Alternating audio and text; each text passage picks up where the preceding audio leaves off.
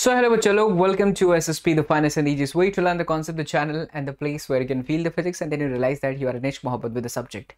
हमने previous video के अंदर चैप्टर फोर का कंप्लीट एनसीईआरटी सॉल्यूशन किया बहुत सारे बच्चों ने उसे देखा जिन बच्चों ने नहीं देखा है ज़रूर देख लीजिएगा लगातार एनसीईआरटी के सॉल्यूशन हम लोग करवा रहे हैं पूरा सिलेबस आपको चाणक्य नीति 4.0 वीडियो के अंदर करवाया है बच्चा लोग तो वो प्लेलिस्ट चाणक्य नीति 4.0 को देखोगे तो सारा का सारा एनसीईआरटी आपका कवर हो जाएगा whether you are from state board या फिर सीबीएसई बोर्ड के स्टूडेंट हो definitely this video lecture will help you आज करेंगे चैप्टर नंबर फाइव का सारा का सारा क्वेश्चन यानी एक एक क्वेश्चन को चुन चुन के मारेंगे। Example then exercise and then additional exercise तमाम वो क्वेश्चन जो कि आपके सीबीएसई में रिलेटेड है, उनको भी हम कवर करेंगे, क्योंकि स्टेट बोर्ड के विद्यार्थियों के लिए बहुत इंपॉर्टेंट होता है। सीबीएसई के स्टूडेंट हो बच्चा लोग तो वो जो टॉपिक है, जो रिलेटेड टॉपिक है वो भी हम यहाँ पर कवर करेंगे उसके भी न्यूमेरिकल क्योंकि वो आपके नीट और जेई मेंस में काम आ जाएँगे, ठीक है? तो चलिए शुरू करते हैं बच्चा chapter number five but start करने से पहले नीचे जो खूबसूरत सी रेड वाली बटन है, उसे दबा करके रेड वाली बटन हम नहीं पहना ठीक है? हमने बटन नहीं पहना शर्ट पहना है। तो उसे दबा करके इस खूबसूरत से चैनल का हिस्सा बन जाएगा फैमिली मेंबर बन जाएगा if you become a part of S S family तो फिर चेहरे पर हमारे मुस्कुराहट की वजह आप बनोगे बच्चा लोग और आप ही लोग इतनी मेहनत कर रहे हैं। सो दबा दीजिए button and do not forget to press the bell icon ताकि जब भी हम यहाँ पर आए, इतने सारे खूबसूरत लेक्चर्स आ रहे हैं। फ्यूचर में आपको नीट के सारे लाइव सेशन मिलेंगे। अभी पूरा रिकॉर्डिंग सेशन नीट का क्लास इलेवन चल रहा है प्रचंड बैच में। एंड चाणक्य नीति के माध्यम से आपका सिलेबस खत्म तो हो ही चुका है। अब आप एनसीईआरटी के सोल्यूशन कर रहे हैं। ठीक है, चलिए क्वेश्चन स्टार्ट करते हैं। तो यहाँ पर सबसे पहले है 5.1 अच्छा एक और चीज़ देखो यार, बहुत ही सिंपल सी बात है कि अगर आप चैप्टर करना चाहते हो खास करके एनसीईआरटी की न्यूमेरिकल्स तो कॉन्सेप्ट का क्लैरिटी होना बहुत ज़रूरी है बच्चों। इसलिए मैं बार बार कह रहा हूँ कि पहले कॉन्सेप्ट को डील करना, फिर क्वेश्चन करोगे तो मज़ा आएगा। और मैंने एक ना लेक्चर बनाया है, जिसके अंदर हमने चैप्टर वन से चैप्टर फोर्टीन तक सारा फॉर्मूला आपको एक ही पूरा लेक्चर के अंदर करा दिया है। तो वो अगर आप वो देख लेते हो तो आपको बहुत हेल्प हो जाएगी। आप यूट्यूब पर सर्च करिए physics complete formula by S S P से you will get my video तो देखिए यहाँ पर पहला सवाल बड़ा सिंपल सा है फिगर दे रखा है फिगर हमसे बना नहीं है तो हम नहीं बनाए हैं डायरेक्ट कॉपी पेस्ट किए हैं, उठा करके आपके जो है एनसीईआरटी का पैटर्न एक मैग्नेटिक निडल है मैग्नेटिक मोमेंट तो मैग्नेटिक मोमेंट दे रखा है बच्चा लोग मैग्नेटिक मोमेंट जिसको आप किससे रिप्रेजेंट करते हो? स्मॉल एम से। और मोमेंट ऑफ़ इनर्शिया दे रखा है that is I and it performs a 10 complete oscillation in 6.70 second it is a very important line तो 10 ऑसिलेशन करता है 6.70 सेकेंड के अंदर। तो एक ऑसिलेशन करने में कितना समय लगेगा? तो 6.70 डिवाइडेड बाई 10 अब जरा डेफिनेशन पर चलिए। हम और आप बहुत अच्छे तरीके से जानते हैं कि एक ऑसिलेशन को करने में लगने वाला जो समय होता है, उसे हम क्या कहते हैं? बच्चा लोग, शुक्ले, एक मिनट बच्चा लोग। शुक्ले को क्यों बुला रहा बताता हूँ। टेन थोड़ी सी कैमरे की सेटिंग करनी थी। तो इसी को हम लोग क्या कहते हैं बच्चा लोग? टाइम पीरियड तो यहाँ से आपको कैपिटल टी मिल गया। अच्छा हम कैपिटल टी पर क्यों जा रहे हैं? वो भी अभी पता चल जाएगा आपको। What is the magnitude of the magnetic field moment of inertia अगर दिया होता है तो हम मैग्नेटिक फ़ील्ड तक कैसे पहुँचे?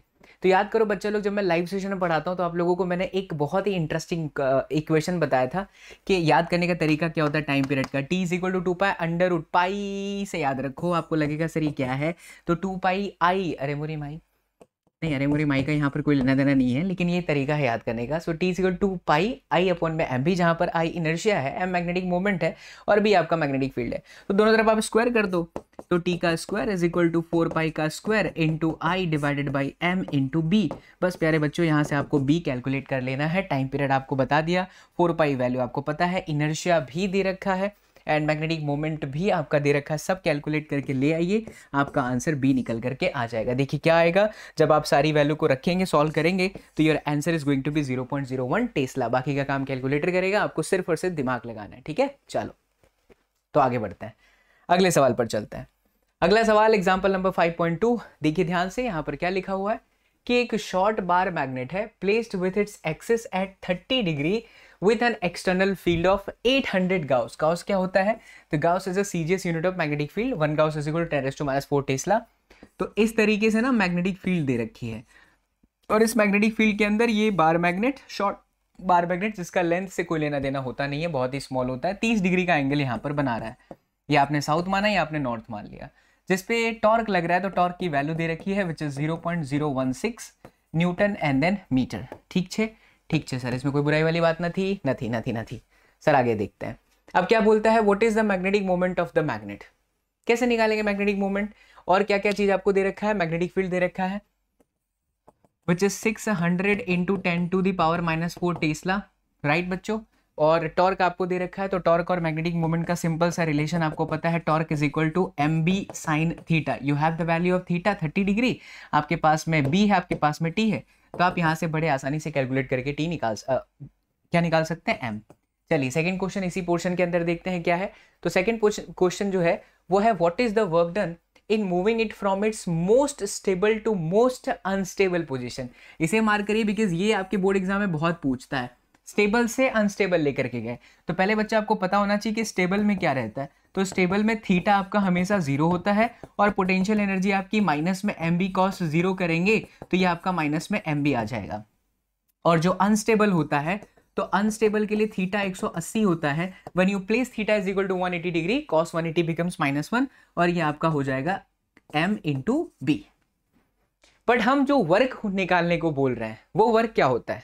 That work is basically change in potential energy and how to deal with the change we know that कैसे निकालते हैं चेंज फाइनल माइनस इनिशियल की इनिशियल माइनस फाइनल कभी भी नहीं. फाइनल माइनस में इनिशियल किया जाता है. यानी जो आपका वर्क डन होगा, वो आपका फाइनल माइनस में इनिशियल होगा. फाइनल आपका एम है माइनस फिर ये आपका एम बट इनिशियल वाला तो माइनस था ही. यानी ये आपका कितना हो गया? Two M and then B now you have M you have B your answer is there simple calculation ठीक है? चलो, तीसरा सवाल देखते हैं।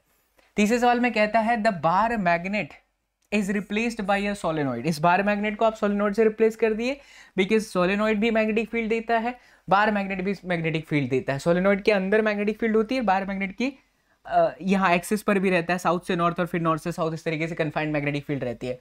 तो एक हज़ार टर्न्स दे रखा है but of the same magnetic moment magnetic moment same है। Determine the current flowing through the solenoid तो बच्चा लोग सोलेनोइड एक सर्कुलर कॉइल की तरह ही तो होता है इस तरीके से। और ऐसे लोगों का जो मैग्नेटिक मोमेंट होता है, ओडिशा वाले बच्चा लोगों, याद होगा मैंने हमेशा एक ट्रिक बताया है, आग लगा देंगे को क्या कहता हूँ मैं? निया लगाई देवो तो निया से याद रखिए, m is magnetic moment, n is number of turns, i is current, and then a is what? That is area. Is everything is given? Thousand turns is there magnetic अच्छा area is there. पूछा क्या है आपसे? Current तो I is equal to M upon में N into A simple calculation you'll get your answer तो चलिए देख लेते हैं, सारी वैल्यू को रखने पर हमारे क्या आंसर आता है? तो पहले वाले में आएगा वैल्यू प्लेस करने पर 0.40 दूसरे वाले में आएगा बच्चा लोग 2 एम बी यानी 0.064 जूल एंड थर्ड वाले में अगर आप करने जाते हो तो आपका आंसर निकल करके आता है टू एम्पियर ये तमाम चीज़ें आप जो भी मैं यहाँ कराता हूँ बच्चा, चाहे आपके नोट्स हों चैप्टर वाइज नोट्स हो, ठीक है? चैप्टर वाइज नोट्स हो प्लस ये जो एन e का पूरा का पूरा सोल्यूशन है, आप ये सभी के सभी सॉल्यूशन को फ्री में एक्सेस कर सकते हो डाउनलोड कर सकते हो। अपने इस फेवरेट चैनल के अगर आप बच्चा पार्टी हो तो do not forget to join our Telegram for the handwritten notes of Baba S plus at the same time बच्चों सैंपल पेपर करना बहुत इंपॉर्टेंट है। देखो फिजिक्स आपका हो जा रहा है। सिलेबस आप मुझसे पढ़ ले रहे हो फ्री में सारी चीज़ें मैं अवेलेबल करा रहा हूँ। लेकिन जब तक आप फिजिक्स की अच्छी क्वेश्चन की प्रैक्टिस नहीं करोगे ना कॉन्फिडेंस बढ़ेगा नहीं। तो आपके कॉन्फिडेंस को बढ़ाने के लिए ही बाबा एसएसपी ने ये सैंपल पेपर बनाया है बच्चा लोग एक्सक्लूसिव सैंपल पेपर और आप सबके प्यार को देखते हुए हमारी जो छोटी सी प्यारी सी टीम है, वो अब बायो मैथ्स और केमिस्ट्री पे भी काम करना शुरू कर दिया यानी आपके बाबा एसएसपी की तरफ़ से कुछ ही दिनों में केमिस्ट्री बायो और मैथ्स का भी सैंपल पेपर अवेलेबल करा दिया जाएगा। मात्र दो सौ निन्यानवे रुपए में बच्चों फिजिक्स का दस सैंपल पेपर आपको मिलेगा। कुछ भी दिक्कत होती है, इस नंबर पे कॉल कर लीजिए। कहाँ पर ये मिलेगा तो हमारा एप्लीकेशन क्लास ट्वेंटी डाउनलोड करोगे। सारा डिटेल आपको वीडियो के डिस्क्रिप्शन बॉक्स में है, वहाँ पे एक लिंक है। क्लिक करो, क्लास ट्वेल्व सिलेक्ट करो, प्रिपरेशन में जाओ and you'll get your sample paper future में मैं आपको नीट के क्रैश कोर्स, यानी कि लाइव आप मुझसे पढ़ पाएँगे। यूट्यूब पे तो मैं करा ही रहा हूँ, सब कुछ आप देख ही रहे हो, बट अगर जिन बच्चों को लाइव मुझसे पढ़ना है क्रैश कोर्स तो मैं फ्यूचर में कराऊँगा, आगे आने वाले बोर्ड एग्जामिनेशन के बाद। Plus at the same time हो सकता है सीबीएसई में आपको दिक्कत हो तो मैं क्रैश कोर्स भी कराऊँ। Do not forget to download this class twenty four so अगर बाबा से जुड़ना है live twenty four download class twenty four चलिए आई होप आप लोगों ने इसे परचेज किया है। तो बहुत अच्छी बात है, जिन लोगों ने नहीं किया है, कर लोगे तो आपका बेनिफिट ही बेनिफिट है। चलिए, आइए देखिए क्वेश्चन नंबर थ्री थोड़ा सा लॉजिकल क्वेश्चन है, मज़ा आएगा इस क्वेश्चन को करने में। आइए देखिए। सवाल क्या है? What happens if a bar magnet is cut into two pieces पहला है ट्रांसवर्स और दूसरा है transverse to its length and along its length आइए देखिए बच्चा, अगर हमारे पास में ये पहले का आंसर करते हैं, ये मैग्नेट है। मैं इसको इस तरीके से कट करता हूँ। ये नॉर्थ और ये साउथ अच्छा पता है, जैसे कि हमारा मैग्नेटिक डायपोल मोमेंट है, उसी तरीके से इलेक्ट्रिक डायपोल मोमेंट होता है। इलेक्ट्रिक डायपोल मोमेंट के अंदर चार्जेस होते हैं पॉजिटिव चार्ज और नेगेटिव चार्ज करेक्ट उसी तरीके से मैग्नेट के अंदर बार मैग्नेट के अंदर नॉर्थ और साउथ होता है।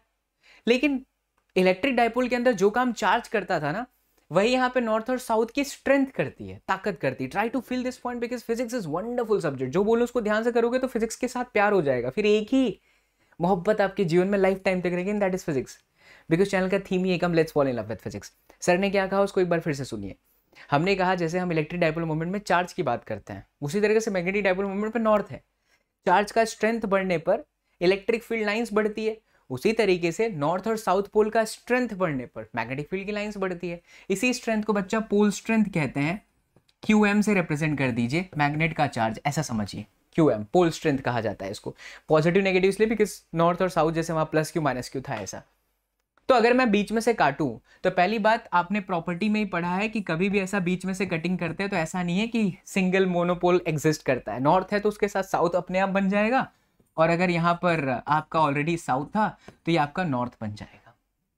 लेकिन बच्चा देखिए, पहले लेंथ कितना था? एल था, अब लेंथ कितना हो गया? L by two L by two लेकिन पोल स्ट्रेंथ को तो आपने कुछ करा नहीं है। वो तो एज इट इज़ है, उसकी ताकत पे कोई फ़र्क नहीं पड़ा। तो अगर मैं मैग्नेटिक डायपोल मोमेंट यहाँ पे बात करूँ तो मैग्नेटिक डायपोल मोमेंट क्या होता है? जैसे electric dipole moment is equal to what charge multiply with the length वैसे ये हुआ pole strength Q M multiply length ऐसे यहाँ नया वाला मैग्नेटिक डायपोल मोमेंट को एमडेस मानो। तो ये तो आपका क्यू एम ही है और ये आपका एल बाई टू हो गया मतलब इनिशियल का कितना हो जाएगा? आधा हो जाएगा। कहने का मतलब you have to remember this in in this way कि अगर हम एक मैग्नेट को उसके लेंथ के क्रॉस काटते हैं ट्रांसफर्स काटते हैं तो दो पीस हमें मिलता है नॉर्थ साउथ अपने आप आ जाएगा बट जो नया मैग्नेटिक मूवमेंट होगा, पहले के कंपेरिजन में आधा होगा। पहले का आंसर चलिए, इसी का दूसरा पार्ट है कि अगर मैं इसको ऐसे कट करूँ अलोंग द एक्सेस अब जरा सोचिए क्या हुआ? अलोंग द एक्सेस काटने पर क्यू एम को आपने छेड़ दिया पोल स्ट्रेंथ को आपने छेड़ दिया। तो लेंथ तो एज इट इज़ है, लेकिन पोल स्ट्रेंथ क्या हो गया? आधा हो गया। लेकिन नया मैग्नेटिक मूवमेंट अभी भी क्या होगा बच्चा? तो क्योंकि ये आधा हुआ लेंथ आपका वही है तो again this is going to be M by two तो दोनों ही सिचुएशन में नॉर्थ साउथ तो रहेगा ही मैग्नेट को काटने पर बट हमें मैग्नेटिक मोमेंट कितनी मिलेगी? आधी मिल जाएगी। समझ में आया? बढ़िया से? ठीक है, चलिए कमेंट भी कर देना आपके प्यारे प्यारे कमेंट से। मज़ा आवे छे बच्चा लोग, आवे छे आवे छे। अगला सवाल करते हैं। अब magnetize needle in uniform magnetic field ध्यान दीजिएगा, एक मैग्नेटिक मैग्नेटाइज निडल है मैग्नेटाइज निडल है राइट एक यूनिफॉर्म मैग्नेटिक फ़ील्ड के अंदर एक्सपीरियंस करता है torque but no net force बड़ी सिंपल सी बात है, ये तो सब सब समझ जाना चाहिए। अगर हम एक यूनिफॉर्म मैग्नेटिक फ़ील्ड लेते हैं तो अगर मैं एक बार मैग्नेट रखूँ तो यहाँ पर साउथ यहाँ पर नॉर्थ अगर इसके ऊपर मैग्नेट का फोर्स इधर लग रहा है तो इसके ऊपर मैग्नेट का फोर्स इधर लगेगा। आप देख सकते हैं कि दोनों का फोर्स का डायरेक्शन अपोजिट है मैग्नीट्यूड सेम है। इसीलिए नेट फोर्स आपका क्या हो जाएगा? ज़ीरो हो जाएगा just like electric dipole moment whenever placed in external electric field there is no net force net force zero लेकिन, क्या ये दोनों फोर्स एक लाइन पर है? नहीं. आप इसका देखोगे तो इसकी लाइनिंग इधर है. इस फोर्स का देखोगे इसकी लाइनिंग इधर है. तो ये बॉडी को ऐसे टर्न करा देगी, घुमा देगी मतलब टॉर्क लगेगा. तो no net force and then torque an iron nail जबकि वहीं पर एक लोहे की छोटी सी सुई. Near a bar magnet higher experience a force of attraction in addition to a torque torque के साथ साथ वो फोर्स ऑफ़ अट्रैक्शन भी कर लेता है। ऐसा क्यों होता है? तो देखिए जरा बहुत ही सिंपल है। अगर मान लो ये मैग्नेट है तो मैग्नेट से निकलने जो मैग्नेटिक फ़ील्ड है, वो यूनिफॉर्म तो रहती नहीं है बच्चा। वह ऐसे चलती है, ऐसे चलती है, ऐसे चलती है, ऐसे चलती है। तो अगर मैं यहाँ पर एक लोहे की कील को इमेजिन करूँ तो उस पर अट्रैक्शन भी है और उस पर टॉर्क भी है। क्योंकि यूनिफॉर्म मैग्नेटिक फ़ील्ड नहीं है तो उसके पॉइंट पर जो फोर्स लगेगा, वो तो लगेगा लगेगा, अट्रैक्शन तो है ही तो वो सीधा भी आने की कोशिश करेगा, लेकिन उसके साथ साथ वो घूम भी सकता है। क्यों? क्योंकि उसके ऊपर टॉर्क भी लगेगा। दोनों जगह पर फोर्स एक जैसा नहीं है इसे नेट फोर्स भी है और टॉर्क भी है। राइट? चलिए, तीसरा सवाल। मस्ट एवरी मैग्नेटिक कन्फिग्रेशन, जितने भी मैग्नेटिक कन्फिग्रेशन होते हैं, have a north pole? And a south pole question mark क्या ऐसा सच में है कि जितने भी मैग्नेटिक कन्फिग्रेशन होते हैं, सबका नॉर्थ और साउथ होता है? रियलिटी नहीं। क्यों? क्योंकि जैसे मान लीजिए हमारे चश्मे का बॉक्स है राइट right? अगर मैं इसके ऊपर ऐसे वायर की वाइंडिंग कर दूँ और उसमें से करंट घुसा दूँ टू ई करंट चला दूँ तो बच्चा ये भी मैग्नेट बन गया। बट क्या इसका नॉर्थ साउथ है? नहीं। नॉर्थ साउथ किसका होता है? नेचुरल वायर मैग्नेट जो नेचुरली मैग्नेट है, वो उनका रहेगा नॉर्थ साउथ लेकिन जनरली हम टोरोइड की बात करें सोलेनॉइड की बात करें या करंट कैरिंग वायर की बात करें, वो भी तो अपने आसपास मैग्नेटिक फ़ील्ड देते हैं। तो क्या उनका नॉर्थ साउथ होता है? तो आंसर है नहीं। तो ऐसा ज़रूरी नहीं है कि जितने भी मैग्नेटिक कन्फिग्रेशन है, सभी का नॉर्थ साउथ होगा। Okay what about the field due to a toroid बता दिया। टोरोइड का जो फ़ील्ड होगा, वो किस तरीके से आता है, आप जानते हो कन्फाइंड रहता है सर्कुलर टन के अंदर। Two identical looking iron bars ये बहुत इंटरेस्टिंग है। दो क्वेश्चन का आंसर दूँगा, बाकी की दो आपको इमेजिन करना है। क्योंकि थोड़ा सा काम आप करोगे तो आपको अच्छा लगेगा। थोड़ा सा दिमाग आप उसमें खनकाना और कमेंट करना। If you are the real true S S बच्चा party if you love your बड़ा भाई Baba S S P then you have to comment the सवाल is two identical looking iron bars लोहे के दो बार हैं ए और बी आर गिवन आपको दिया हुआ है। फिर कहता है one of which is definitely known to be a magnetize उनमें से एक जाना जा रहा है हंड्रेड परसेंट मैग्नेटाइज के लिए, ठीक है? तो सवाल कहता है कि we do not know which one हमें नहीं पता कौन सा। How would one ascertain whether or not both are the magnetize if only one is magnetize how does one ascertain which one use nothing else but but the bar A and B सवाल समझिए क्या कह रहा है? सवाल ये कह रहा है कि मैं आपको दो चीज़ दूँ। आयरन की दिख रही है, उसमें से एक मैग्नेट है, पता करना है कैसे पता करे, चलेगा। तो देखिए, जैसे मान लीजिए कि आपके पास में ये ए है और आपके पास में ये बी है। ज़ाहिर सी बात है, अगर दोनों को पास में ला करके रखा जाए और कुछ इंट्रैक्शन ही नहीं हुआ, ना ही तो अट्रैक्शन हुआ, ना ही तो रिपल्सन हुआ there is no interaction there is no interaction no magnet कोई भी मैग्नेट नहीं है। ये एक सिचुएशन हुई। अब आप दिमाग लगाना बच्चा, क्योंकि मैं सारे सिचुएशन इमेजिन नहीं करवाऊँगा। दूसरा सिचुएशन ऐसा है कि सिर्फ़ रिपल्सन हो रहा है। मतलब आप दोनों को पास में लाए और रिपल्सन हुआ। ऐसा कब पॉसिबल है? रिपल्सन कब होगा? जब एक मैग्नेट का नॉर्थ और दूसरे मैग्नेट का नॉर्थ हुआ या एक मैग्नेट का साउथ और दूसरे मैग्नेट का भी साउथ हुआ, इसका मतलब है कि जब रिपल्सन ही हो रहा है देर इज़ ओनली रिपल्सन दोनों को पास लाने में। सिर्फ़ रिपल्सन हुआ, इसका मतलब है बोथ आर मैग्नेट तभी ऐसा होगा अदरवाइज़ होने वाला नहीं है। अब जरा सोच करके देखिए कि मैं दोनों को पास मिला और सिर्फ़ अट्रैक्शन हो रहा है। सिर्फ़ क्या हुआ? अट्रैक्शन हुआ। It means what just imagine एक लोहे की चीज़ है और एक मैग्नेट है। तभी तो अट्रैक्शन हुआ। तीन केस समझे? चौथे केस में आपको बताना है कि दोनों की जो जो सेम बार है, दोनों आयरन के बार है। एक मैग्नेट है, पता चल गया तीसरे से, एक कंडीशन से। सवाल यह है कि जो, इसमें एक और चीज़ ऐसा पूछ रहा है कि अब बताओ बार ए या बार बी मैग्नेट कौन सा है? तो वो कैसे पता चलेगा? उसका आंसर आप सोचिए अच्छे से। पहले ये तीनों सिचुएशन को अच्छे से इमेजिन करना कि सर ने क्या बोला। और फिर बताओ कि क्या करके अच्छा खासा एक थेरेटिकल लाइन आपको कमेंट के अंदर लिखना है राइट चलो, ये काम मैंने आपको दिया। आगे बढ़ते हैं। खैर, यहाँ लिखा भी हुआ है, लेकिन मैं चाहूँगा कि आप आंसर दें कमेंट सेक्शन के अंदर। आइए आगे बढ़ते हैं। सवाल नंबर पाँच पॉइंट चार। एग्ज़ाम्पल आपके टेक्स्ट बुक का। What is the magnitude of the equatorial and axial field due to a bar magnet बहुत ही सिंपल है। तो बार मैग्नेट है जिसका लेंथ दे रखा है बच्चा लोग।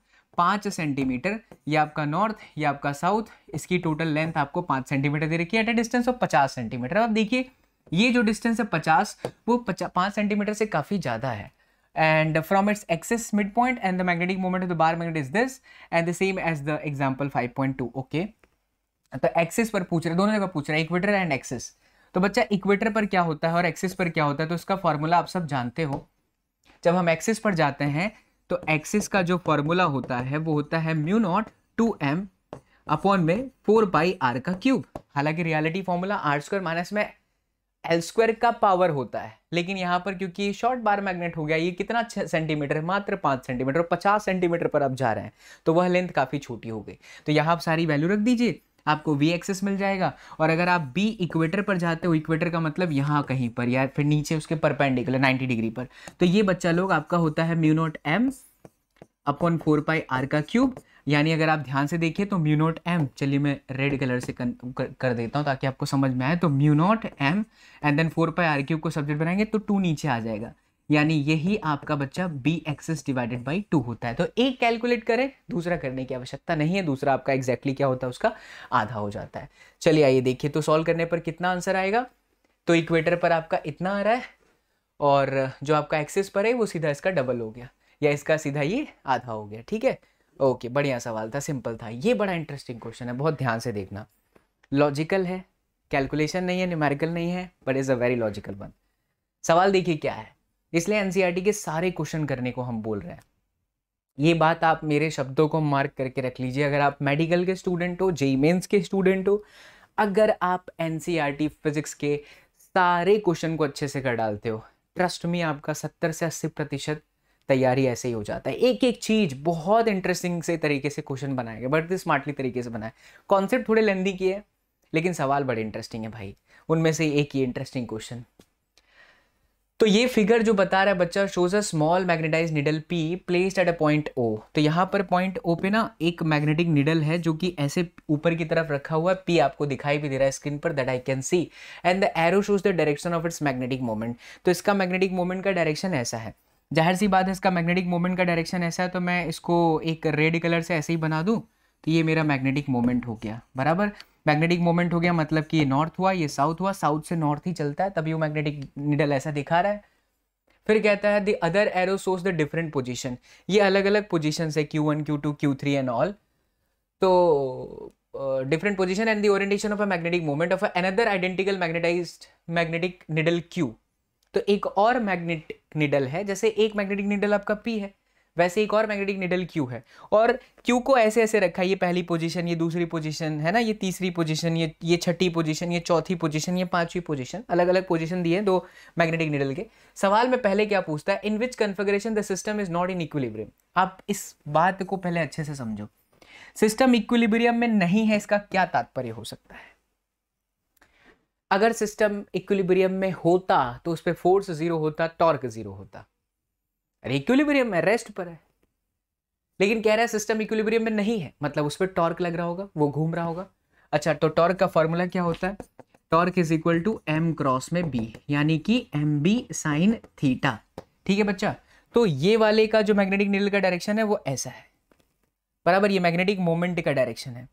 ये उसकी एक्सेस हो गई, ये मैंने एक्सेस कह दिया। और ये जो पोजीशन है बच्चा, ये हो गया इक्वेटर अब ये बात तो आप अच्छे से समझते होंगे, फिर से समझा देता हूँ। जैसे यहाँ पर एक बार मैग्नेट है, ये साउथ से नॉर्थ है, ये उसकी एक्सिस है। तो एक्सिस पर मैग्नेटिक मूवमेंट के डायरेक्शन में ही आपका मैग्नेटिक फ़ील्ड का डायरेक्शन होता है। लेकिन अगर आप इक्वेटर पर चले गए 90 डिग्री पर चले गए, यहाँ चले गए बच्चा तो ध्यान दीजिएगा, अंदर मैग्नेटिक मूवमेंट का डायरेक्शन ऐसा है, बट बाहर मैग्नेटिक फ़ील्ड का डायरेक्शन ऐसा होगा। क्यों? क्योंकि मैग्नेटिक फ़ील्ड लाइंस ऐसे निकलती है। तो इक्वेटर पे मैग्नेटिक फ़ील्ड हमेशा opposite to the magnetic movement होता है, इधर मैग्नेटिक मूवमेंट ऐसा है और इक्वेटर पर ऐसा है। लेकिन एक्सिस पर जिधर मैग्नेटिक मूवमेंट होता है, वहीं हमारी मैग्नेटिक फ़ील्ड होती है। तो मैग्नेटिक फ़ील्ड ऐसी है एक्सिस पर और इक्वेटर पर। आपका कैसा है बच्चा? अपोजिट। तो अगर यहाँ ऐसा है तो इस तरफ़ जो मैग्नेटिक फ़ील्ड है, वो ऐसा हो जाएगा और यहाँ पर भी जो है आपका मैग्नेटिक फ़ील्ड ऐसा हो जाएगा। मैं जहाँ जहाँ बी लिखूँ तो आप समझ जाना कि मैं किसकी बात कर रहा हूँ? मैग्नेटिक फ़ील्ड की। चलिए, अब सवाल में है कि एम बी साइन थीटा कहाँ पर इक्विलिब्रियम नहीं हो रहा है? तो आप बताओ कि जब मैं यहाँ पर साइन 90 करूँगा, तभी तो मेरे को टॉर्क मिलेगा। क्योंकि साइन ज़ीरो कितना होता है? ज़ीरो डिग्री पर भी ज़ीरो हो जाएगा 180 डिग्री पर भी क्या हो जाएगा? ज़ीरो हो जाएगा। ये बात आप समझे? जहाँ जहाँ पर एंगल ज़ीरो बनेगा एम और बी के बीच में, वहाँ पर टॉर्क आपका ज़ीरो हो जाएगा। टॉर्क ज़ीरो हो गया तो इक्विलिब्रियम होगा बट द क्वेश्चन इज़ कि कहाँ इक्विलिब्रियम नहीं है? तो 90 डिग्री देख लो। कहाँ 90 डिग्री है? नब्बे डिग्री कहाँ है बच्चा लोग? तो नब्बे डिग्री है आप लोगों का ये देखिए बहुत ध्यान से ये देखो Q2 पे। अगर आप देखिए Q2 पे तो P और Q2 का जो पेयर है क्योंकि यहाँ पर ये ये एक्सेस नहीं है ये इक्वेटर है। मैग्नेटिक फ़ील्ड ऐसी है और जो हमारा Q2 है वो ऐसा तो यहाँ हो सकता है। Q5 पे हो सकता है बिकॉज़ इसका इस, तरीके से दिया है। नहीं बच्चा इधर इक्विलिब्रियम है क्योंकि इधर ऐसा है और ये इस तरीके से और कहीं हो सकता है नहीं बस एक ही जगह तो पहले का आंसर आपका हो गया क्या लिखोगे आप? पी क्यू टू यानी मैग्नेटिक मोमेंट और क्यू टू से बनने वाला पेयर ये वाले सिचुएशन में क्या होगा? वो इक्विलिब्रियम होगा बिकॉज़ थीटा सॉरी इक्विलिब्रियम में नहीं होगा, क्योंकि थीटा कितना है? नब्बे डिग्री है तो टॉर्क लगेगा। सवाल यही बोल रहे हैं। समझना अच्छे से नॉट इन इक्विलिब्रियम मतलब जहाँ जहाँ टॉर्क लग रहा है। फिर उसके बाद दूसरा in which configuration is the system in stable unstable equilibrium अब समझिए, पहले का आंसर मिल गया। दूसरा सिस्टम स्टेबल में कब होता है? जब थीटा ज़ीरो होता है। अनस्टेबल इससे पहले भी एक सवाल आया, जब 180 होता तो ढूंढ लो यार, थीटा ज़ीरो कहाँ है? थीटा ज़ीरो कहाँ है बच्चा लोग? थीटा ज़ीरो कहाँ है? ये एक तो ये हो गया, क्योंकि यहाँ 180 डिग्री है, ये अनस्टेबल है, बराबर? अनस्टेबल की पोजीशन ये स्टेबल की position Q6 and then P का डायरेक्शन सेम है राइट right? और कहाँ पर बच्चा लोग? ज़ीरो डिग्री, देखो देखो, ये रहा Q3 पर, है ना? तो P Q3 यहाँ पर ज़ीरो डिग्री है, यहाँ देखिए 180 डिग्री तो ये अनस्टेबल है, बस यही करना है इस क्वेश्चन के अंदर। तीसरा which configuration correspond to the lowest potential energy among all the configuration? सारे के सारे कन्फिग्रेशन में से सबसे कम पोटेंशियल एनर्जी कहाँ होगा? तो माइनस में एम बी कॉस में ज़ीरो इसको बहुत ध्यान से देखिए। पोटेंशियल एनर्जी का मिनिमम होना मतलब your answer should be in minus minus M B theta जब ज़ीरो रखूँगा तभी होगा। ठीक है? अब थीटा ज़ीरो वाले पोजीशन कौन कौन से हैं? तो थीटा ज़ीरो वाले जो पोजीशन है मेरे बच्चे लोग, वो एक तो ये है क्यू थ्री वाला। और कौन सा है? एक तो ये है क्यू सिक्स वाला, और कौन सा है? यहाँ 180 हो गया। यहाँ पर भी 180 हो गया तो दो पोजीशन है। एक तो ये और एक तो ये। अब आपको सोचने वाला, समझना है, दिमाग लगाना है कि कहाँ पर मिनिमम मिलेगा। तो अगर मुझे इसको मिनिमम करना है, और वो भी बढ़िया से बढ़िया वाला मिनिमम तो आप जरा सोच करके देखो कि बी कैसा होना चाहिए मैक्सिमम होना चाहिए। आप एक बात बताओ माइनस दस ज़्यादा अच्छा है मिनिमम या माइनस बीस? ऑफकोर्स माइनस बीस ज़्यादा अच्छा होगा। आप कहते हो मिनिमम बढ़िया मिनिमम कौन सा है? इसको एकदम लोएस्ट मिनिमम रखना है। तो एक आपके पास ऑप्शन माइनस दस है, एक आपके पास माइनस बीस है। तो आप कहेंगे, भैया माइनस बीस। बट माइनस बीस कब आएगा? जब इनका प्रोडक्ट ज़्यादा हो। बी चेंज हो सकता है एम तो कांस्टेंट है ना। बी कहाँ चेंज हो सकता है? क्योंकि अगर ये हमारा मैग्नेटिक मोमेंट का एक्सिस है तो एक्सिस पर ही मैग्नेटिक फ़ील्ड सबसे ज़्यादा होती है। देखो, एक मैग्नेट बनाओ। तो ये मैंने एक बनाया मैग्नेट, ये मेरा नॉर्थ, ये मेरा साउथ तो नॉर्थ से निकलने वाली मैग्नेटिक फ़ील्ड ये इसी तरीके से यहाँ पर ज़्यादा रहती है, एक्सिस पर ही ज़्यादा रहती है, क्योंकि एक्सिस के अलावा तो वो मुड़ जाती है। तो अब यहाँ भी मिनिमम है, यहाँ भी मिनिमम है, लेकिन ज़्यादा मिनिमम कहाँ है? यहाँ पे। क्यों? क्योंकि ये एक्सेस है। क्लियर बच्चा पार्टी? फील आया? बढ़िया। चलो let's go to the next one all right all right पढ़ते रहना। ये तो बहुत ही सिंपल क्वेश्चन है, कहो तो छोड़ दूँ। एक दो बताता हूँ, बाकी मैं आप दिमाग लगाना। कहता है many of the diagrams given in the figure so the magnetic field lines and point out what is wrong with them उनसे गलती क्या है? बच्चा, ये देखो। पहला वाला गलत है। अरे मैग्नेटिक फ़ील्ड लाइंस ऐसे थोड़ी हो सकती है। मैग्नेटिक फ़ील्ड लाइंस कर शेप में होती है। ऊपर से ये यहीं पर जाके खत्म हो गया। क्लोज लूप दिख ही नहीं रहा तो गलत है। यहाँ देखिए बहुत ध्यान से। ये आपको कैसा लग रहा है? ई वाला, अगर आप ध्यान से देखो तो यहाँ से ऐसे निकल रहा है, फिर ये क्लोज लूप बना रहा है और फिर आ रहा है। मतलब it must be and it must be south ये बिल्कुल सही है। राइट यहाँ देखिए।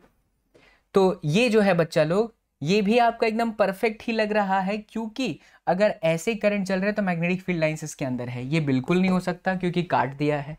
फिर इसी तरीके से आप ये देख लो। तो इसके अंदर मेरा थोड़ा डायग्राम बहुत झाका झाका दिख रहा है ना आप लोगों को तो ये कर लोगे। Right right? इतना तो आप समझ ही गए होगे कि कहाँ पर मैग्नेटिक फ़ील्ड लाइंस किस तरीके से होगा। तो थोड़ा डायग्राम को हम कोशिश करेंगे कि इसको और थोड़ा बढ़िया प्रेजेंट किया जाए। चलिए तो समझ गए ना? ये तो बहुत ही सिंपल सा क्वेश्चन है। तो अपने आगे बढ़ते हैं। आ जाओ बच्चा। अगला सवाल देखते हैं 5.7 सवाल ये बोलते हैं कि magnetic field lines shows the direction along which a small magnetised needle aligns Do the magnetic field lines also represent the lines of a force on a moving charge particle at every point? ध्यान दीजिए। जैसे मान लीजिए कि ये मेरा magnet है, ये नॉर्थ है, ये साउथ है तो मैग्नेटिक फ़ील्ड लाइंस ऐसे निकलती है नॉर्थ से साउथ में जाती है, ऐसे निकलती है नॉर्थ से साउथ में जाती है। तो बच्चा, एक प्रॉपर्टी आपको याद दिलाना चाहूँगा। एक प्रॉपर्टी हमने पढ़ा था, किसी भी पॉइंट पर जो मैग्नेटिक फ़ील्ड का डायरेक्शन होता है, वो खींचे गए टेंजेंट की दिशा में होता है। यानी पॉइंटर टेंजेंट में होगा निडल टेंजेंट में होगा। बट क्या यही लाइन फोर्स का डायरेक्शन दे रहा है? ऐसा बिल्कुल नहीं है। Because we know that F is equal to what Q V cross में बी यानी जो फोर्स का डायरेक्शन होगा, वो वेलोसिटी पर निर्भर करेगा और मैग्नेटिक फ़ील्ड पर निर्भर करेगा। दोनों से बनने वाले प्लेन के परपेंडिकुलर रहेगा। टेंजेंट नहीं देगा फोर्स का डायरेक्शन गॉट माई पॉइंट तो yes if we draw a tangent we get a direction of magnetic field और उसी मैग्नेटिक फ़ील्ड के डायरेक्शन में हमारा पॉइंटर होगा। Magnetic field line shows the direction along which a small magnetised needle aligns यानी tangent पे।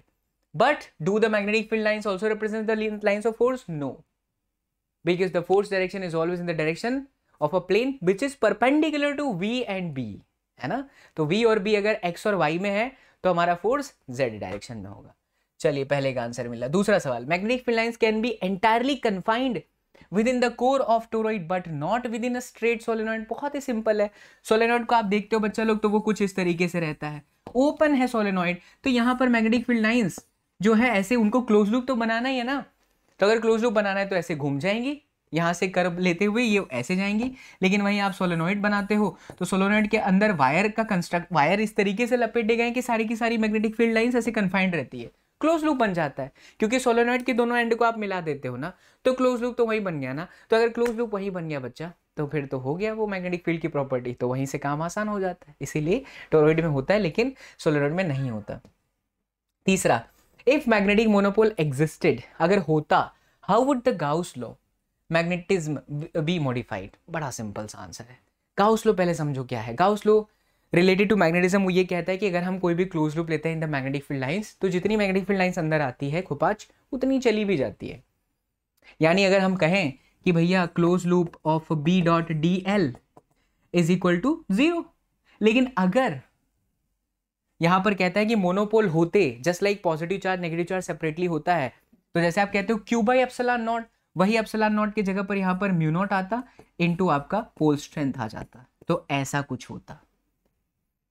B dot D ए होगा sorry बात आई चमकी बच्चा पार्टी बढ़िया से तो ये गाउसलो हो जाता अगर मोनोपोल एग्जिस्ट करते तो। फिर से समझना integration E dot D A becomes B dot D A is equal to Q by epsilon naught the net charge in the close loop here they are saying monopole exist करता है। तो north और south पोल की ताकत को कौन बताता है? पोल स्ट्रेंथ तो जो क्यू है, उसके जगह पर क्यू एम आ गया। ऐसा इक्वेशन होता but this is a kind of hypothetical question ऐसा है नहीं बट वो सवाल बना के आपसे पूछ रहे हैं, ठीक है? चलो डी पार्ट पर आते हैं। Does a bar magnet exert a torque on it क्या एक बार मैग्नेट खुद पे टॉर्क लगाता है? Due to its own field चलो, पहले इसको समझ लेते हैं। क्या एक बार मैग्नेट खुद के ही फ़ील्ड की वजह से टॉर्क लगाता है? तो जैसा कि हम जानते हैं मैग्नेटिक फ़ील्ड क्लोज लाइन बनाती है। ठीक है, बच्चा? नॉर्थ से निकल करके साउथ में गई। नॉर्थ से निकल करके साउथ में गई। अब जरा ध्यान से समझो कि अगर हमारा मैग्नेटिक मोमेंट का डायरेक्शन देखो तो वो इधर है। मतलब यही फ़ील्ड लाइन है और यही बार मैग्नेट है। इसी की फ़ील्ड लाइन। चलो इस पोजीशन के बारे में सोचो। यहाँ पर एम एंड बी दोनों सेम डायरेक्शन में है ना? है कि नहीं? मैग्नेटिक मोमेंट भी ऐसा है और मैग्नेटिक फ़ील्ड भी ऐसा है। थीटा कितना बना? Of course theta zero. What about torque सोचिए torque is equal to M B sine theta theta zero sine zero zero खुपाच torque zero यहाँ सोच लो, यहाँ मैग्नेटिक फ़ील्ड का डायरेक्शन ऐसा है टॉर्क यहाँ पर तो आपका मैग्नेटिक मोमेंट है ही नहीं है। इधर मैग्नेटिक फ़ील्ड है, लेकिन मैग्नेटिक मोमेंट तो है ही नहीं। तो अगर इस लूप में बात करूँ इक्वेटर पे तो इक्वेटर पे मेरे पास बी तो है बट एम नहीं है, क्योंकि एम तो एक्सिस पे ही है। मैग्नेटिक मोमेंट का डायरेक्शन ऐसा होता है कन्फाइंड फिक्स नेचर का। वैसे घूमता नहीं है मैग्नेटिक फ़ील्ड घूमती है। तो यहाँ पर आपका एम ज़ीरो है तो torque is equal to zero B sine theta that result zero यानी टॉर्क नहीं लगेगा। खुद के ही मैग्नेटिक फ़ील्ड से बार मैग्नेट पे टॉर्क नहीं लगेगा। बट एक और अच्छा सवाल पूछा है। क्या पूछा है? डज वन एलिमेंट कहा गया भैया? हाँ does one element of a current carrying wire exert a force on another element of same wire अच्छा। मतलब कि ऐसे एक वायर है, इसमें से चलने वाला करंट है। तो ये क्या बनाती हैं बच्चा लोग? इस तरीके से मैग्नेटिक फ़ील्ड लाइंस बनाती हैं। ध्यान दीजिएगा, बहुत ही प्यारा सवाल है। क्या एक वायर से बनने वाली मैग्नेटिक फ़ील्ड लाइंस एक दूसरे के ऊपर फोर्स लगाती हैं? तो इसका आंसर है यस देखिए। अब अगर मुझे इनका डायरेक्शन जानना है मैग्नेटिक फ़ील्ड लाइंस का तो मैं क्या करूँगा? रूल्स लगा दूँगा इस तरीके से। ये थंब इधर है तो मेरा मैग्नेटिक फ़ील्ड लाइंस का डायरेक्शन ऐसा है। मतलब कि फ़ील्ड लाइंस ऐसे जाते हुए ऐसे आ रही है। क्लोज लूप बनाती है। तो अगर मैं यहाँ देखूँगा तो वो बाहर की तरफ़ आ रही है और यहाँ देखूँगा तो देखो अंदर की तरफ़ जा रही है। ऐसे ये भी बाहर की तरफ़, यहाँ अंदर की तरफ़, ये ऐसे मैग्नेटिक फ़ील्ड लाइन्स है। और ये भी मैग्नेटिक फ़ील्ड लाइन्स है, बाहर की तरफ़ और अंदर की तरफ़। थोड़ा लॉजिकल सोचो। अगर आप बच्चा लोग, चलो मैं आपको फील कराता हूँ because this place of Baba S S P is all about feel आप बीच में खड़े हो। बीच में खड़े हो तो लेफ़्ट साइड वाली जो मैग्नेटिक फ़ील्ड का डायरेक्शन है, वो ऐसे है। बाहर की तरफ़ आ रही है, ऐसे। फिर वो घूम करके फिर ऐसे अंदर घुसेगी, है ना? लेकिन अगर आप इस वाले की वजह से देखोगे तो वो आपकी बाहर की तरफ़ ऐसे आई। ध्यान देना बच्चा, अब मैं लेफ़्ट साइड की तरफ़ बात कर रहा हूँ। प्लीज़ ट्राई टू कॉन्सेंट्रेट तो ये मैग्नेटिक फ़ील्ड लाइंस ऐसे आकर के बच्चा लोग ऐसे जा रहा है। Try to feel the very important point यहाँ ऐसा था तो ये ऐसे आ रहा था बच्चा लोग। यहाँ पर ऐसे आ रहा है मेरे प्राणनाथ। और अब जरा सोच करके देखो दोनों का डायरेक्शन क्या होगा? तो एक इस तरीके से नीचे आएगा और एक आपका इस तरीके से जाएगा। क्योंकि जो इसके राइट साइड में है, वो उसके लेफ़्ट साइड में अपोजिट होगा। तो एक मैग्नेटिक फ़ील्ड लाइंस ऐसे आई और दूसरी मैग्नेटिक फ़ील्ड लाइंस ऐसे गई। तो नेट कितना हो गया? ज़ीरो मतलब फोर्स तो लगेगा बॉस क्योंकि फ़ील्ड लाइंस तो है ना।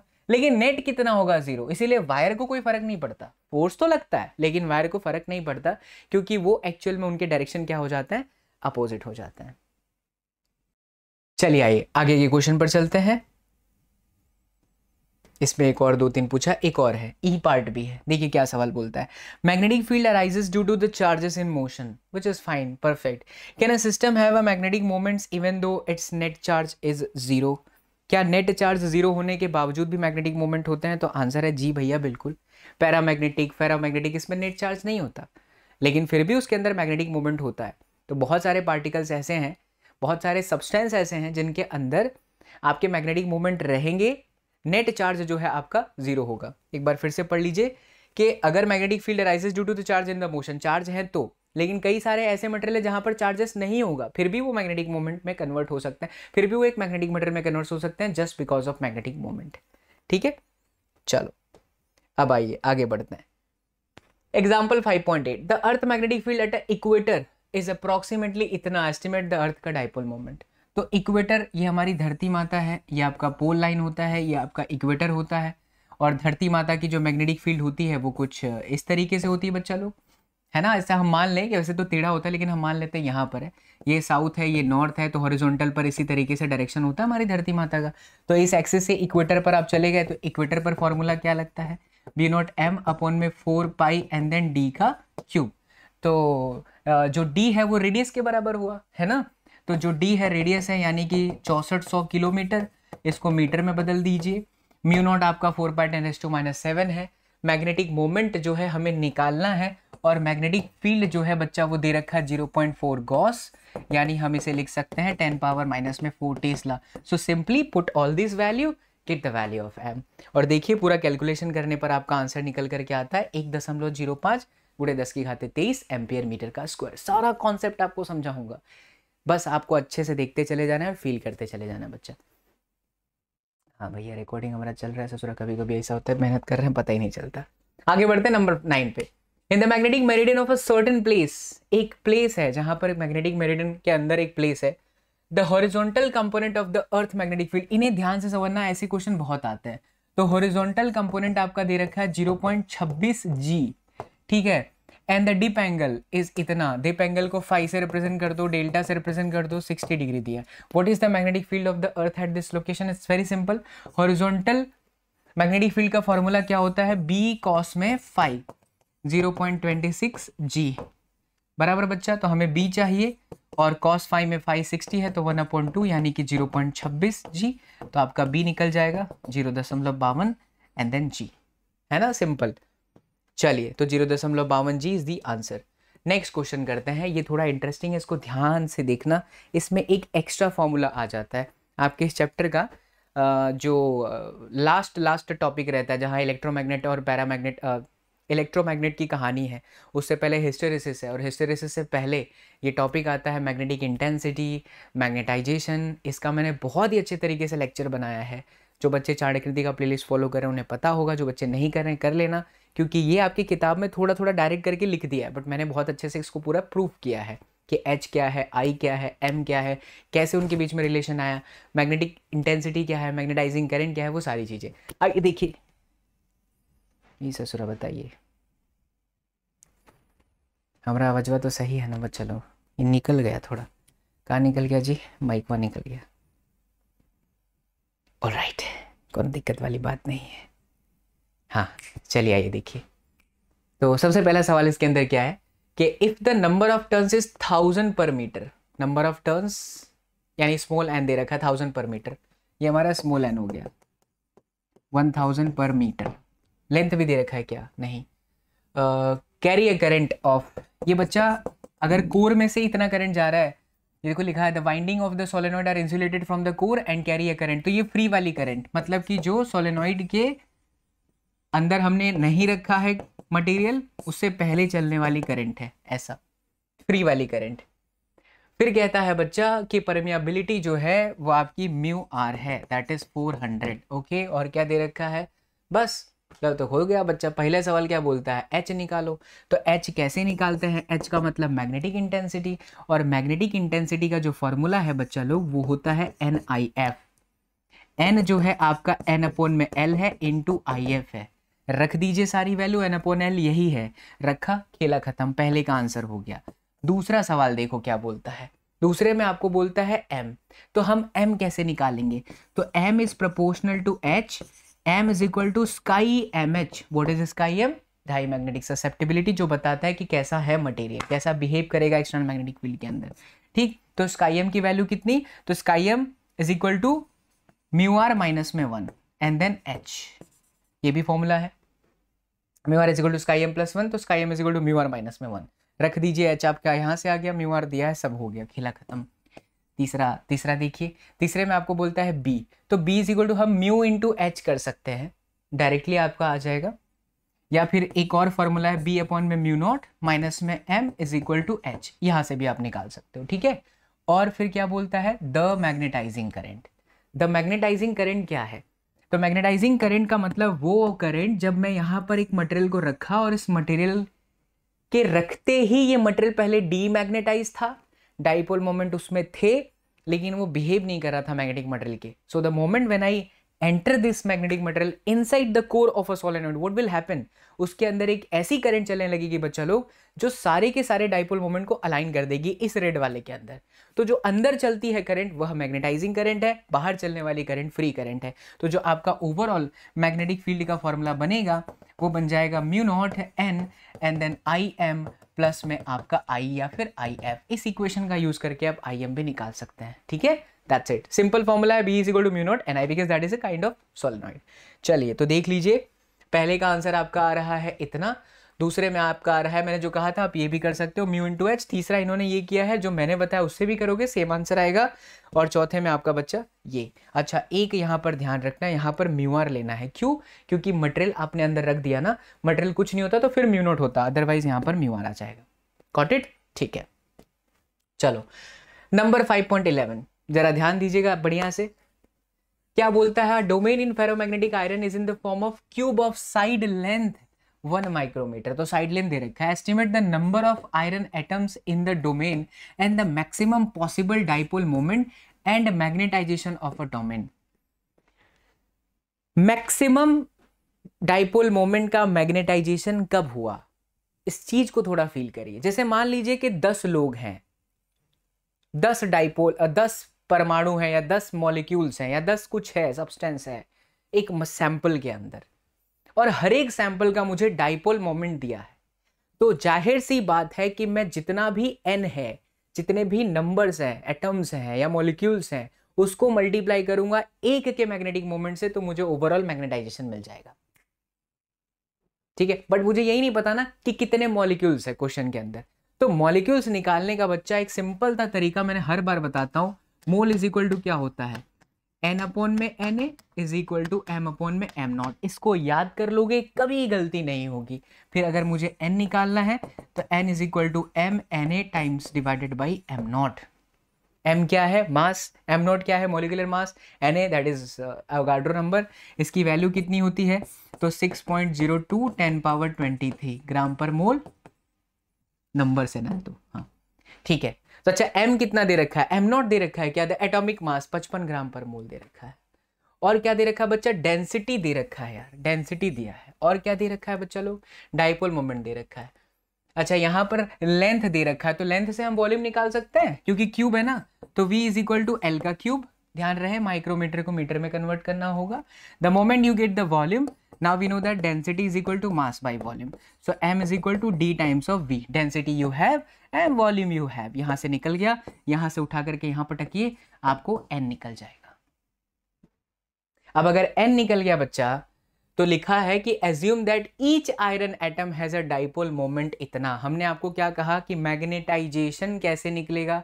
Total dipole moment in a volume कि हर एक इतने वॉल्यूम के अंदर कितना डाइपोल मोमेंट एग्जिस्ट कर रहा है? टोटल डाइपोल मोमेंट कैसे निकलेगा?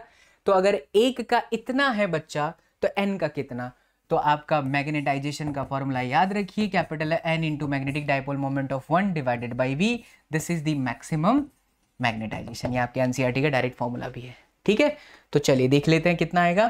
तो एन निकालने पर इन्होंने अलग से निकाला एन फिर एम एक्स मतलब कि जितने भी नंबर्स थे उसको इसके साथ मल्टीप्लाई करा और M X is equal to M X divided by the domain volume here is the answer that is eight times of ten S to five ampere per metre. Caught my point चलो बच्चा, अब हम आगे करेंगे हमारा N का exercise ready but एक बार फिर से कहना चाहूँगा बच्चा कि आप इस प्लेटफॉर्म से नोट्स की जो है आराम से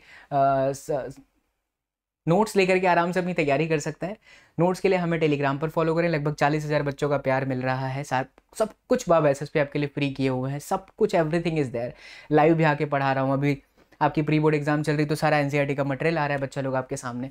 अभी सैंपल पेपर आपके लिए तैयार किया तो सैंपल पेपर परचेज कर लीजिए, जो मैंने बनाया, देखो मार्केट में बहुत सारी सैंपल पेपर अवेलेबल है, लेकिन किसी भी क्वेश्चन को कैसे डील करना है, ताकि उसके साथ सिमिलर क्वेश्चन आए तो हम फंसे ना।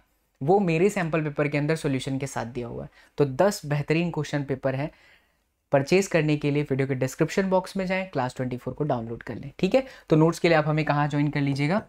टेलीग्राम तो आओ मेरे प्राणनाथ संकट मोचन बच्चा लोग चलते हैं यहाँ पर हम। अरे, शुरुआत के एक दो क्वेश्चन थोड़े थेरेटिकल हैं बट काफ़ी इंटरेस्टिंग है। चलते हैं, इसको करते हैं। आइए देखिए। बट याद रखना, शुरू के कुछ ऐसे क्वेश्चन हैं जो कई बार आपको लगेगा, सर, ये आंसर तो नहीं हो सकता, कुछ और ही हो सकता है। तो यहाँ जब आप पहला दूसरा सवाल पढ़ेंगे ना तो लिखा भी हुआ है कि टेंटेटिव आंसर है। रिलेटेबल ऐसा हो भी सकता है, नहीं भी हो सकता बिकॉज़ हमारे अर्थ का, अब जब से एस एस पी शॉर्ट्स बनाए तब से हमारा एक नया चैनल भी है, आपको पता ही है एस एस पी शॉर्ट्स आप सब लोग उस पर प्यार ज़रूर दें, बच्चा लोग। ज़रूर सब्सक्राइब कर लीजिएगा एस एस पी शॉर्ट्स तो अब इतने सारे इन्फॉर्मेटिव वीडियोस को देखना, बनाना और स्क्रिप्ट को देखना तो याद हो गया। तो हमारे धरती के आज भी इतने सारे रहस्य हैं ना, जिस पर कोई भी कुछ नहीं कह सकता। सब लोग आते हैं, खाली अपनी थियरी देते हैं। बट रियलिटी क्या है? वो कहते हैं ना, कुदरत के आगे इंसान कुछ नहीं कर सकता। तो भगवान तो है यार। ऊपर वाला तो है। जिसने हम सबको बनाया, संसार बनाया। तो आज भी कुछ ऐसे रहस्य हैं जो अनसुने हैं। उन्हीं में से एक धरती माता का मैग्नेटिक फ़ील्ड भी है कैसे हो रहा है क्या हो रहा है कुछ कुछ चीज़ें सही है कुछ कुछ चीज़ें गलत है। आइए चलिए करते हैं बच्चा लोग। सो so, बच्चा लोग let's begin the exercise question how's the जोश हाय सर बोलो श्री अंबे माता की। जय अगर बोर्ड में मार्क्स लाना है तो? बाबा का सैंपल पेपर करना है। तो जो भी बच्चा लोग सैंपल पेपर करना चाहते हैं कमेंट के अंदर पिन किया हुआ है जाकर के परचेस कर लीजिए। और चलिए शुरुआत करते हैं चैप्टर फाइव के एक्सरसाइज के एनसीआरटी के सोल्यूशन सबसे पहला सवाल देखते हैं क्या लिखा है। A vector needs three quantities for its specification सही है? ठीक है। आप बोलो शुक्ला जी क्या कहना चाहते हो। चलिए बच्चा शुक्ला जी परेशान करते हुए सवाल का आंसर देते हैं। Vector needs three quantities for its specification so name the three independent quantities conventionally use to specify the धरती माता का मैग्नेटिक फ़ील्ड धरती माता का मैग्नेटिक फ़ील्ड आपके सीबीएसई बोर्ड से डिलीट हो चुका है लेकिन बहुत बार पढ़ाया जा चुका है बच्चा। अगर आप मेरे वीडियोस को देख रहे हो अच्छी बात है नहीं देख रहे हो तो देखो। क्योंकि आपको फिजिक्स के साथ प्यार हो जाएगा। तो तीन ऐसी क्वांटिटी जो हमारे धरती माता के मैग्नेटिज्म को समझाने के लिए बड़ी इंपॉर्टेंट है, उनमें से एक मैग्नेटिक डेक्लिनेशन है डीप एंगल है और धरती माता का हॉरिजॉन्टल मैग्नेटिक फ़ील्ड है। नोट डाउन कर लीजिएगा तीनों चीज़, ठीक है? दूसरा answer the angle of dip at a location in a southern India दक्षिणी भारत में 18 डिग्री है dip angle would you expect a greater और smaller dip angle in Britain तो थोड़ा मैप की जानकारी होनी चाहिए। तो ब्रिटेन जो है बच्चा, नक्शे में आप देखोगे तो नॉर्थ की तरफ़ आता है। तो अगर ब्रिटेन यहाँ कहीं पर आ रहा है, दक्षिणी भारत हमारा यहाँ कहीं पर है, नॉर्थ यहाँ पर है तो नॉर्थ पर आप जा रहे हो तो इसका मतलब है आप पोल की तरफ़ जा रहे हो। और पोल पे जो डिप एंगल होता है, वह 90 डिग्री का होता है, इसीलिए हमारे इक्वेटर पर ज़ीरो डिग्री और पोल पे 90 डिग्री तो हम कहेंगे बढ़ेगा। ठीक है तो इंक्रीज होगा। If you made a map of magnetic field lines at a Melbourne in Australia अगर आप ऑस्ट्रेलिया के अंदर मैग्नेटिक फ़ील्ड लाइन्स को बनाते हो तो वो क्या होगा? Would the line seem to go into the ground और come out from the ground अब जरा फिर से इमेजिन करो, ऑस्ट्रेलिया में अभी हुआ था, कुछ तो था ना जहाँ इंडिया हार जा रही है यार, बहुत दुख हो रहा है। क्रिकेट तो भारत से ख़त्म होते जा रहा है, सच में। मुझे आज भी याद है 2007 में इंडिया जब, हम लोग दसवीं कक्षा में थे। खैर, ख्यालों में खो गया, बट जल्दी बताता हूँ 2003 में मैं बहुत छोटा था। बट इतना तो था कि मुझे याद था कि इंडिया ऑस्ट्रेलिया का मैच चल रहा था और बच्चे लोग होते ना, तब नेट नहीं था। तब पापा लोग कैसे समझाते थे, अरे, रिकी पॉन्टिंग के बाइटे में ना, स्प्रिंग लगा रहा है। जिक्री वजह से इतना छक्का चौका मारे, नहीं तो जीत जाता है। ग्लिन में ग्रैक गिदब, सचिन चौका मार देते। तो दिमाग में छप गया चीटिंग हुई थी, चीटिंग हुई थी, चीटिंग हुई थी। बट फिर धीरे धीरे बड़े हुए तो पता चला, यार, नहीं यार, ऑस्ट्रेलिया ने बहुत अच्छा खेला था। इंडिया 2003 में हारी, बट सौरव गांगुली की कैप्टनसी के बाद धोनी साहब आए। सौरव गांगुली ने धोनी को लाया और इंडिया का पूरा नक्शा कदम चेंज हुआ 2011 तक। बट उसके बाद से जब से ये आईपीएल आया ना बच्चा लोग कमेंट करके ज़रूर बताना यार। आईपीएल ने खराब तो किया क्रिकेट को, क्योंकि हर एक खिलाड़ी जो इंडिया के लिए खेलता है, वो कहीं ना कहीं आईपीएल टीम का कैप्टन होता है। तो जब ज़ाहिर सी बात है खुद ही कहीं कैप्टन है तो फिर वो सोचेगा अब्बे हार्दिक पांड्या को लेकर मैं कैप्टन है भाई हाँ भाई मैं दादा जिम बॉम्बे से आया, अरे सॉरी वेस्ट इंडीज से आया, उसकी आवाज़ सुनो, हार्दिक पांड्या साहब की तो अलग लेवल पर क्या कर सकते हैं अभी? तो अभी मन ही नहीं करता यार, क्योंकि पता ही नहीं चलता कौन खेलने वाला, कौन नहीं खेलने वाला। पहले पता चलता था, अबे भाई साहब, जो जोश रहता था यार पान के गले खड़े होकर के हम लोग मैच देखते थे। अब है ही नहीं, खत्म हो गया। हाँ तो कहाँ था? मैं ऑस्ट्रेलिया में था। तो ऑस्ट्रेलिया कहाँ पर आता है मैप में? नीचे नॉर्थ, साउथ पे आता है। तो अगर हम देखें तो ऑस्ट्रेलिया यहाँ कहीं पर है बच्चा लोग। लेकिन जो धरती माता का मैग्नेटिक फ़ील्ड है कि यहाँ जियोग्राफिक नॉर्थ है तो मैग्नेट का यहाँ साउथ है और यहाँ मैग्नेट का नॉर्थ है। मतलब मैग्नेटिक फ़ील्ड लाइन्स ऐसे निकलेगी बच्चा लोग ऐसे निकलेगी मेरे प्यारे तो ऑस्ट्रेलिया में निकलेगा निकलेगा मैग्नेटिक फ़ील्ड लाइंस। बराबर, धरती ऐसे है ना तो मैग्नेटिक फ़ील्ड लाइंस निकल कर कैसे जा रहा है। तो हम कहेंगे कि it will come out from the ground चलो, तीसरे का आंसर हो गया। In which direction would a compass free to move in the vertical plane point 2 if located right on the geomagnetic north or south pole? In which direction would a compass free to move? In any direction, है ना? फिर तो को, को, कोई भी direction पर चला जाएगा वो जब एक सिचुएशन के पास अचीव करता है तो। The earth field it is claimed रफली approximate the field due to a dipole of a magnetic moment इतना इतनी मैग्नेटिक मोमेंट है। Located at centre check the order of magnitude of this number in some way किसी तरीके से आप इस number को चेक कर सकते हो क्या कि मतलब मैग्नेटिक मोमेंट इतना है? तो इसको चेक करने का बड़ा सिंपल तरीका है। देखिए धरती माता का जो मैग्नेटिक फ़ील्ड अगर आप देखें तो ये इस तरीके से है। अगर मैं इसको ऐसा इमेजिन कर लूँ, कुछ इस तरीके से इमेजिन कर लूँ, ठीक है? तो ये हमारा धरती माता का मैग्नेट और अगर मैं सरफेस पर चला जाऊँ तो ज़ाहिर सी बात है मैं रेडियस पर चला गया। अब मेरे को बी दे रखा है। बी की वैल्यू जो भी गिवन है, धरती माता के लिए मैग्नेटिक फ़ील्ड आपको पता है? Zero point three three G तो mu naught M by four pi D cube लगाओ डी आपका रेडियस है which is six four double zero kilometre और आप एम निकालो। एम की जो एक्चुअल वैल्यू आएगी, वो उतनी ही आएगी जो प्रैक्टिकली प्रूफ है। बस यही करना है इसके अंदर। तो कुछ सर्टेन चीज़ें हैं जो आपको करनी है। Geologist claim that besides the main magnetic north south poles there are several local poles on the earth surface oriented in different direction how is such a thing possible at all कह रहा है कि north south तो है ही, लेकिन उसके साथ साथ धरती माता पे और भी कई ऐसी लोकेशन जहाँ अलग से नॉर्थ साउथ आता है। वह किस वजह से आता होगा? तो उसका रीज़न ये है कि धरती माता में बहुत सारे मिनरल्स हैं आयन्स है, चलता है, धरती माता चलती है तो फिर वो आयंस घूमते हैं करंट आता है करंट आता है तो मैग्नेटिक फ़ील्ड है, जिसकी वजह से हम कह सकते हैं कि नॉर्थ साउथ पोल एग्जिस्ट करता होगा। फिर भी ये परफेक्ट आंसर है क्या? नहीं। हमने पहले ही आपको कह दिया कि कन्वीनियंट हम दे देंगे रिलेटेबल आंसर परफेक्ट आंसर कोई भी नहीं देगा। ये पहला दूसरा सवाल आपके लॉजिक पर बेस्ड है। चलिए क्योंकि धरती माता के खुद मैग्नेटिक फ़ील्ड के बड़े कार, सारे कारण है बच्चा लोग। आइए। अब आते हैं दूसरे सवाल पर ये भी थोड़ा थेरेटिकल है। तो यहाँ पर देखो नोट में भी दिया हुआ है। Mean mainly to raise your curiosity आपकी क्यूरियोसिटी को बढ़ाने के लिए ऐसे क्वेश्चन पूछे। आप चाहो तो खुद भी कर सकते हो यार। The earth magnetic field varies from point to point in space does it also change with time if so on what time scale does it change appreciably तो करोड़ों साल के बाद हो सकता है चेंज क्योंकि धरती में आता है, क्या आप तो हम तुम, हम लोग मर जाएँगे, पचास, साठ साल बाद तो जीने का कुछ पता ही नहीं है, और सवाल पूछ रहे क्या चेंज होगा क्या? तो हाँ चेंज हो रहा है लगातार। कैसे पता चलता है बच्चा लोग? तो देखो, जब आप एक मैग्नेट को ऑब्ज़र्व करते हो, उसको टेम्परेचर देते हो, या फिर आप कुछ करते हो तो उसकी मैग्नेटिक फ़ील्ड चेंज होती है। तो उससे आइडिया लगाया जा रहा है कि अगर एक बार मैग्नेट का मैग्नेटिक फ़ील्ड चेंज हो रहा है तो हो सकता है, धरती, हो सकता है मैंने बोला। परफेक्ट आंसर बोला, नहीं। तो धरती माता का भी मैग्नेटिक फ़ील्ड चेंज होगा, समय के साथ करोड़ों साल बाद हो सकता है, इसका कुछ आंसर दिया हुआ है, मैं आपको बता देता हूँ, करोड़ों साल बाद। तो time can not be neglected right and magnetic field changes with time it takes a few hundred years मैंने करोड़ों बोला, माफ़ी चाहूँगा, कुछ सालों के बाद ऐसा हो सकता है। अच्छा हंड्रेड साल के बाद कौन जीवित होगा? साइंटिस्ट लोग जीवित होंगे क्या? नहीं ना तो आंसर इसी तरीके से ही है। फिर है the earth core is known to content iron yet geologist do not regard this as a source of earth magnetism कि मतलब अर्थ के कोर में आयरन है, लेकिन फिर भी जो है उसको नहीं मानते, क्योंकि आयरन जो होता है बच्चा पिघले हुए फॉर्म में होता है मोल्टन फॉर्म में होता है, जबकि मैग्नेट जो होता है वो सॉलिड होता है। तो इसीलिए जियोलॉजिस्ट जो मैग्नेटिज्म के बारे में स्टडी करने वाले वैज्ञानिक है, वो उसको परफेक्ट रीजन नहीं मानते हैं, क्योंकि मोल्टन फॉर्म में होता है।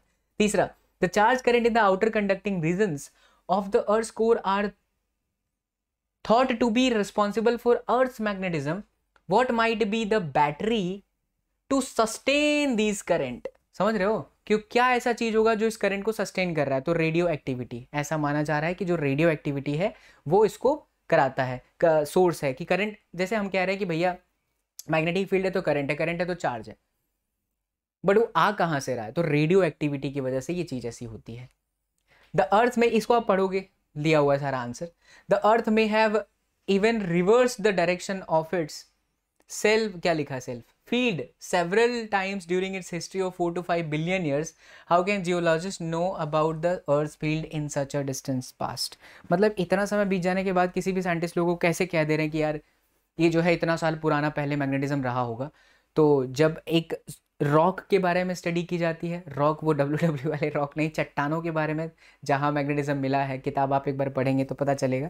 तो उसके ऊपर रिसर्च किया जाता है रिसर्च करते हैं तो देखा जा रहा है कि यार सातवें दिन में इतना चेंज हो गया, सातवें दिन में इतना चेंज हुआ तो अच्छा अगर ये इतने, सात दिन में इतना चेंज दे रहा है तो इससे पहले के सात दिन में कितना होगा तो सात सौ दिन में कितना होगा तो सात हज़ार साल में कैसा होगा, उसके बेसिस पर आइडिया लगाया जाता है। तो it is based on the research the earth field depart from its dipole shape substantially at the large distance 30000 kilometre what agencies may be responsible for this distortion? तो कौन सी एजेंसी है जिसको distort करती है? तो इसका आंसर भी मैंने दिया है बच्चा। सिंपल एक लाइन में उसको आपको रीड करना है। मैं नहीं करा रहा और इंटरस्टेलर ये भी आपको कर लेना है कि क्या ऐसा हो रहा है। तो दोनों का जो आंसर है, हमने यहाँ पर शीट में दिया है। इसको एक बार रीड कर लीजिए। इसमें टाइम नहीं लेते। हैं आगे चलते क्योंकि आगे बहुत अच्छे अच्छे क्वेश्चन जो आपके एग्ज़ाम में पूछे जा सकते हैं और बड़े इंटरेस्टिंग है। आइए। अ शॉर्ट बार मैग्नेट है ना? ये सब नहीं है, आगे एडिशनल में आएगा। शॉर्ट बार मैग्नेट बट आता है एग्ज़ाम में। थर्टी डिग्री के एक्सेस पर है विद यूनिफॉर्म मैग्नेटिक फ़ील्ड इतना एक्सपीरियंस है टॉर्क बच्चा लोग इतना व्हाट इज़ द मैग्नेट्यूड अरे, कुछ नहीं है बच्चा। तो ये एम बी साइन थीटा क्या पूछा है magnetic moment M torque B sine theta सब दिया, खेला खत्म, पैसा जम भोजिना से चमाचम रख दीजिए कुपाच। आपका आंसर आएगा ज़ीरो पॉइंट छत्तीस जूल पर टेस्ला चलिए, आगे बढ़ते हैं। अगला सवाल बोलता है short bar magnet of magnetic moment again दे रखा है magnetic moment placed in uniform magnetic field of इतना एम और बी दे रखा है। If the bar is free to rotate in a plane of the field which orientation would correspond to its stable and unstable equilibrium? कमाल करते हो बच्चा लोग। तो स्टेबल uh, के लिए बच्चा party what is the potential energy of this अच्छा क्या पूछा which orientation would correspond to its stable के लिए तो थीटा आपका ज़ीरो होता है हम सब जानते हैं। और थीटा 180 होता है अनस्टेबल के लिए। पोटेंशियल एनर्जी यहाँ पर देखें तो माइनस में M B cos zero you know that cos zero one तो माइनस में एम बी और यहाँ देखें तो फिर माइनस में M B and then cos में एक सौ अस्सी विच इज़ माइनस तो फिर ये आपका हो जाएगा प्लस में एम बी अब कुछ नहीं है वैल्यू रखना है M magnetic moment and B is magnetic field all are given ठीक है? चलिए, आगे बढ़ते हैं।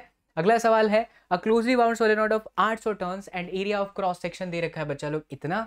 करंट इतना है explain the sense in which the solenoid acts like a bar magnet what is associated magnetic moment तो जब आप एक बार मैग्नेट को सोलेनोइड की तरह बोलते हो तो क्यों बोलते हो? तो उसका रीज़न है, बहुत ही सिंपल है।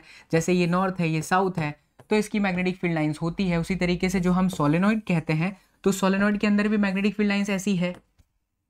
जिसका कोर है, उसके अंदर तो ऑलमोस्ट यूनिफॉर्म होती है सेंटर पॉइंट से आसपास में, इसीलिए बार मैग्नेट आपका सोलेनोइड होता है। और जब सोलेनोइड का मैग्नेटिक मोमेंट पूछ रहा है तो निया लगाए दे वो, यानी कि N I A now you have number of turns you have current you have area easily you can calculate magnetic dipole moment all right next question बच्चा लो if the solenoid in exercise S S S S exercise five point five पहले वाला।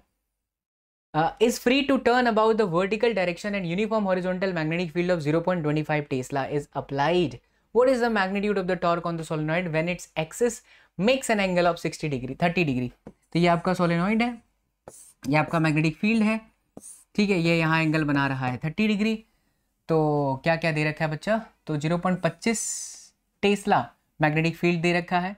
What is the magnitude of torque तो torque is equal to simple M B sine में theta M जो है, आपने जो इससे पहले निकाला, ये वाला magnetic moment zero point six ठीक है? क्योंकि इससे पहले वाले सवाल का बोल रहा है। बी आपको इस क्वेश्चन में दे रखा है एंगल आपको दे रखा है, रख दीजिए, आपका टॉर्क भी आ जाएगा। डन ठीक है। Let's move to the next one so here is the next question देखिए क्या लिखा है? A bar magnet of magnetic moment इतना is aligned with the direction of a uniform magnetic बहुत सिंपल है। तो ये एम ये आपका बी ये दे रखा है। What is the amount of work required by an external torque to turn the magnet so as to align the magnetic moment normal to the field direction and opposite to the field direction what is the meaning of normal नब्बे degree.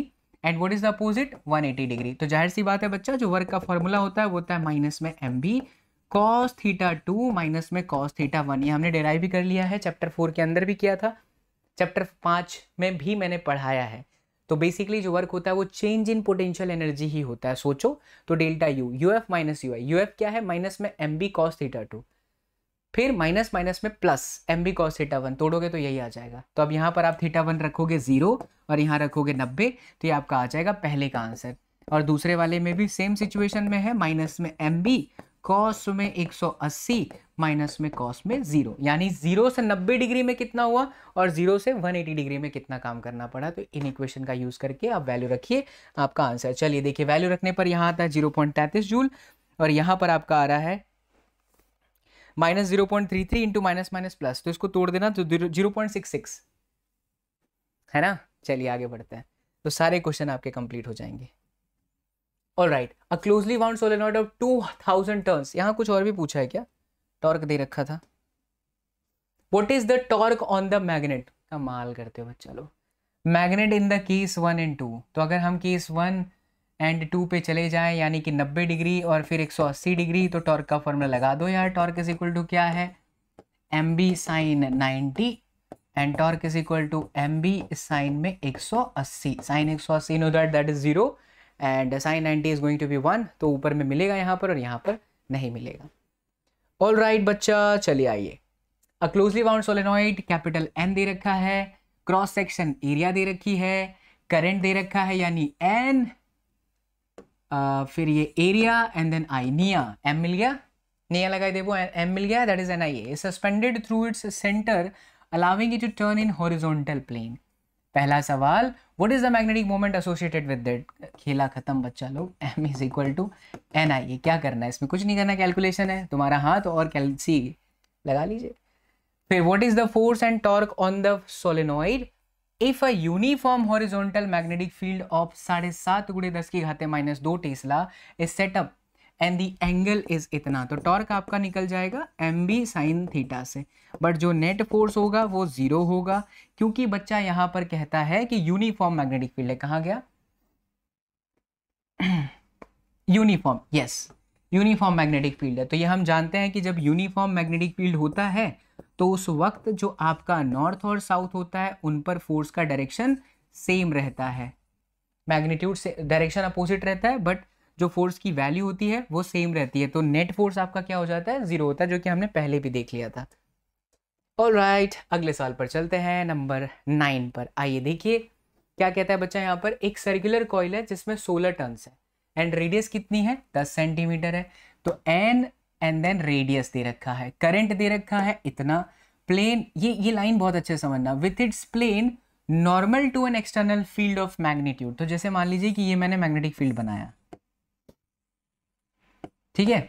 अब अगर मैं आपको बोलता हूँ, बच्चा, ये ring है। जैसे मान लीजिए, इस शेप को आप समझिए कि एक रिंग की तरह है। इसका प्लेन क्या है? इसका प्लेन बच्चा, ये है। ठीक है? इसकी एक्सेस क्या है? इसकी एक्सेस ये है which is passing through the centre अब कहता क्या है कि 0.5 इसमें से करंट भी चल रहा है टर्न्स भी दे रखा है रेडियस भी दे रखा है, सब इसका दे रखा है। कहता है कि rest with its plane normal to an external field, normal मतलब 90 डिग्री। तो अगर फ़ील्ड लाइन ऐसी है तो इसका एक्सिस, सॉरी, प्लेन ऐसा है तो ये ऐसा रखा हुआ है। बराबर? ठीक? The coil is free to turn about an axis in its plane which is perpendicular to the field direction. मतलब ये अपने प्लेन के अंदर ही रोटेट होने के लिए तैयार है, और वो भी कैसे? मैग्नेटिक फ़ील्ड के परपेंडिकुलर। तो मैग्नेटिक फ़ील्ड ऐसा है तो आप जरा सोचो, ये अगर ऐसा घूमता तो मैग्नेटिक फ़ील्ड के पैरेलल हो सकता था। ऐसा घूमता तो बट ऐसा नहीं बोल रहा है बच्चा। अपने जो एक्सिस है, उससे बनने वाले प्लेन और मैग्नेटिक फ़ील्ड के परपेंडिकुलर फिर से पढ़िए बिकॉज़ ये लाइन कुछ ऐसे होते हैं जो बच्चे बहुत कंफ्यूज होते हैं और फिर क्वेश्चन गलत करके आते हो। फिर से पढ़ लो। द कॉइल इज़ फ्री यानी कि कॉइल फ्री है टू टर्न होने के लिए। कहाँ से? कैसे एक्सिस से? About an axis in its plane तो प्लेन में ही एक्सिस ये वाली एक्सिस ठीक है? प्लेन का ही axis perpendicular to the field direction perpendicular to the field direction एक एक्सिस ये हो सकता है, एक एक्सिस ये हो सकता है which passing through the centre तो अभी यहाँ पर ये ऐसे घूम रहा है, इस तरीके से। ठीक है? अब बोलता है when the coil is turn slightly and release थोड़ा सा इसको स्लाइटली टर्न किया गया मतलब कि ये हमारी कॉइल है बच्चा लोग, ऐसे ये रोटेट होना चाहती है। इसको थोड़ा सा हमने ऐसे किया, बाद में क्या कहता है कि वापस अपने स्टेबल पोजिशन में आ जा रहा है।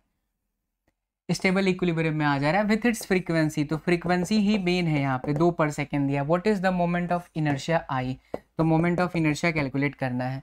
थोड़ी देर पहले लेक्चर स्टार्ट हुआ, कुछ देर पहले तो हमने आपको कहा था कि टी का एक ऐसा इक्वेशन जिससे आप बहुत आसानी से आंसर दे सकते हो। That was T is equal to two pi under root I upon में M B two pi I pi में ई आ रहा है तो ऐसे याद रखो I and I is not a current that is moment of inertia right that time period is what that is one upon frequency so two pi under root I upon में M B do we have M yes M is equal to N I A area pi R square कर देना। M आपका कैसे निकलेगा? N I ए से। ठीक है? Area आपका क्या होगा बच्चा लोग? पाई आर स्क्वायर तो बी आपके पास में है, आपके पास में फ्रीक्वेंसी है, रखिए और फिर आई को कैलकुलेट कर लीजिए। दैट्स इट ठीक है? चलो तो फिर आपका आंसर निकल करके आता है बच्चा लोग। ये रहा देखिए। एक दशमलव एक नौ गुड़े दस की खाते माइनस चार तमाम जितने भी क्वेश्चन हैं उनको कैलकुलेट करना ताकि ये सारे मेथड आपको याद रहे। आगे बहुत अच्छे अच्छे क्वेश्चन आएँगे अभी। आइए आगे बढ़ते हैं। Magnetic needle free to rotate in a vertical plane बढ़िया सवाल है। थोड़ा सा लॉजिकल है और कुछ है नहीं इसमें। बहुत ही सिंपल है बट थोड़ा डायग्राम के माध्यम से एक्सप्लेन करूँगा, आपको मज़ा आ जाएगा। तो एक मैग्नेटिक नीडल है which is free to rotate in a vertical plane एक वर्टिकल प्लेन में वो फ्री है रोटेट होने के लिए। वर्टिकल प्लेन अगर ऐसा मानो, क्योंकि ये हॉरिजॉन्टल प्लेन है वर्टिकल प्लेन है इमेजिन करना। मेरा हाथ जो है बच्चा, वो हॉरिजॉन्टल है, ठीक है? और ये जो बोर्ड है, ये ये मेरा वर्टिकल प्लेन है। तो इसके अंदर एक मैग्नेटिक निडल फ्री है रोटेट हो रहा, होने के लिए। ऐसे ऐसे एक मैग्नेटिक निडल है, इस तरीके से रोटेट हो सकता है। बराबर? ऐसा। फिर कहता है that plane is parallel to the magnetic meridian मतलब ये मैग्नेटिक मेरिडियन के पैरेलल है। Has its north tip pointing down needle का। Pointing down at 22 degree with the horizontal है pointing down at a 22 degree with the horizontal The horizontal component of the earth magnetic field at the place is known to be 0.35 G. Determine the magnitude of the earth magnetic field. देखो मैं diagram ना भी बनाऊँ तो भी यहाँ पर answer आ जा रहा है यहाँ पर कहता है बच्चा कि जो 0.35 जी है वो है क्या ये हॉरिजॉन्टल कंपोनेंट है component of the horizontal component यानी H is equal to point पैंतीस जी, घबराओ मत, बहुत ही सिंपल है, लाइन से ही पता चल गया और हॉरिजॉन्टल कंपोनेंट का फॉर्मूला क्या है? B cos five zero point पैंतीस G. What is this five that is dip angle dip angle क्या होता है? लिखा भी हुआ है। Magnetic meridian has its north tip pointing down at 22 degree with the horizontal तो मैग्नेटिक मेरिडियन के अंदर, यही मैग्नेटिक मेरिडियन है, और इसी प्लेन में हमारी सुई क्या हो रही है? फ्री टू मूव है। फिर कहता है, हॉरिजॉन्टल से कितना डिप है? ये हमारी मैग्नेटिक निडल हो गई। ऐसे। हॉरिजॉन्टल से कितना एंगल बना रही बच्चा? 22 डिग्री। तो मैग्नेटिक मेरिडियन के अंदर हॉरिजॉन्टल से जो भी एंगल बनता है, जितना डिप होता है, उसको मैग्नेटिक डिप एंगल बोलते हैं। तो ये आपका हो गया बी कॉस बाईस। कॉस बाईस नहीं पता होता तो नब्बे से घटा दो ठीक है साइन नाइन्टी माइनस में बाईस इज़ इक्वल टू कॉस बाईस एंड देन ज़ीरो पॉइंट पैंतीस एंड देन जी तो from this you can calculate B natural sine की वैल्यू लॉग्रिम्स की वैल्यू ये आपके एग्ज़ाम में अगर आता है तो दिया रहेगा, उसकी चिंता आप बिल्कुल भी ना करें। All right the correct answer is this ठीक है ज़ीरो पॉइंट तीन सात सात जी आइए अगला सवाल पढ़ते हैं। ग्यारहवा सवाल। एट अ सर्टेन लोकेशन एक location in Africa a compass points 12 degree west of the geographic north तो एक कंपास है जो पॉइंट कर रहा है 12 degree west of the geographic north चलिए, ये डायग्राम से समझते हैं। तो ये है हमारा जियोग्राफिक नॉर्थ बराबर? इससे जो है मैग्नेटिक निडल पॉइंट आउट हो रहा है यहाँ पे 12 डिग्री। तो यही मेरा मैग्नेटिक डेक्लिनेशन है राइट और यही हमारी मैग्नेटिक मेरिडियन होती है। क्योंकि जो पॉइंट कर रहा है 12 डिग्री, वो मैग्नेटिक फ़ील्ड को शो कर रहा है। और ये तो आप जानते हो अर्थ मैग्नेटिज्म चैप्टर के अंदर पढ़ाया है मैंने, कि धरती माता की मैग्नेटिक फ़ील्ड किस मेरिडियन में होती है। इसमें, नहीं, ये तो जियोग्राफिक मेरिडियन है। जियोग्राफिक मेरिडियन किसे कहते हैं? वो एक्सेस से बनने वाला प्लेन जो पास होता है उसके रोटेशनल एक्सेस से। तो यही रोटेशनल एक्सेस से धरती माता इसी के अराउंड घूमती है ना? तो इससे बनने वाली प्लेन को जियोग्राफिक मेरिडियन कहते हैं। उसमें मैग्नेटिक फ़ील्ड नहीं होता। मैग्नेटिक फ़ील्ड होता है इसमें, जो थोड़ा सा टेढ़ा होता है राइट हम अपनी सरलता के लिए मान लेते हैं बच्चा लोग, कि यहाँ पर आपका नॉर्थ यहाँ पर आपका मैग्नेटिक साउथ वैसे होता क्या है? होता यह है कि यहाँ पर मैग्नेट का साउथ होता है, लेकिन जो निडल है, उसका नॉर्थ यहीं पे रहेगा, तभी तो वो नॉर्थ के डायरेक्शन में आता है। क्योंकि जो साउथ है धरती माता का, वो जो मैग्नेटिक निडल है, उसके नॉर्थ को खींचता है नॉर्थ को अट्रैक्ट करता है। तो हमारा magnetic field magnetic needle north पे सेट हो जाता है, लेकिन यहाँ पर धरती माता का मैग्नेटिक साउथ होता है। अच्छा आगे। The north tip of the magnetic needle of a dip circle placed in the plane of a magnetic meridian points 60 degree above the horizontal तो जैसे अगर मान लीजिए कि मैं और इसी प्लेन के अंदर हाँ बच्चा लोग इसी प्लेन के अंदर, इसको हम ऐसा बनाते हैं। तो ये जो हमारी मैग्नेटिक निडल है, वो कितना डिग्री पर है? 60 डिग्री ऊपर की तरफ़ है। अब आप सोचो, ये क्या है? हॉरिजॉन्टल से जो एंगल बनता है हॉरिजॉन्टल से जो भी चुंबक ऐसे जैसे ये सुई है, ये ऐसे है, फिर या ऐसे हो सकता है।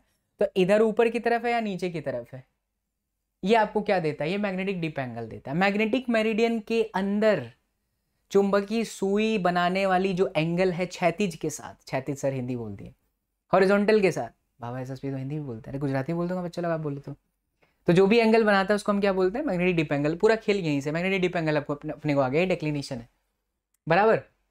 तो एबव द हॉरिजॉन्टल तो सवाल बोलते हैं the horizontal component of the earth field horizontal component दे रखा है बस यहीं से खेल खत्म हो जाता है। ज़ीरो दशमलव सोलह G H is equal to what बच्चों? That is B cos five zero point sixteen G तो बोलता है कि बताओ specify the direction and magnitude of the earth field at this location तो b इज़ इक्वल टू आपका कितना हो गया? ज़ीरो पॉइंट सोलह इंटू टू क्योंकि कॉस सिक्सटी कितना है? वन अपॉइंट टू तो ज़ीरो पॉइंट बत्तीस जी आ गया। यानी मैग्नेटिक फ़ील्ड की जो वैल्यू है, वो ज़ीरो पॉइंट बत्तीस जी है बट ये मैग्नेटिक फ़ील्ड है कहाँ? तो आप इसको कैसे लिखेंगे? So the direction of magnetic field is in the plane parallel to magnetic meridian which is twelve degree west of geographic north ये वेस्ट ही तो है। Which is 12 degree west of geographic north यानी जियोग्राफिक नॉर्थ से west की तरफ़ 12 degree वाले plane के अंदर, जो मैग्नेटिक मेरिडियन के पैरेलल है, उसी के अंदर आपकी मैग्नेटिक फ़ील्ड पॉइंट आउट कर रही है। और उसकी वैल्यू कितनी है? ज़ीरो पॉइंट बत्तीस जी शब्द को जितना ध्यान से सुनोगे, सारी चीज़ें आपकी क्लियर होंगी। और कहीं भी कुछ भी दिक्कत होती है बच्चा लोग तो कमेंट कर देना। I am heavily activated on YouTube चलो, आगे बढ़ते हैं। अगला सवाल short bar magnet is magnetic moment of 0.48 joule per tesla यानी मैग्नेटिक मोमेंट आपका इतना दे रखा है, ठीक है? Give the direction and magnitude of the magnetic field produced by a magnet at a distance of 10 centimetre from the centre of a magnet the axis and the equator line बड़ा ही simple है बच्चा। तो ये आपने बना दिया magnet ये आपका नॉर्थ ये आपका साउथ तो सबसे पहली बात, अगर आप एक्सेस से किसी डिस्टेंस पर जाते हैं तो यहाँ एक्सेस का फॉर्मूला लगा दो यार, क्या है इसके अंदर? क्या फॉर्मूला है?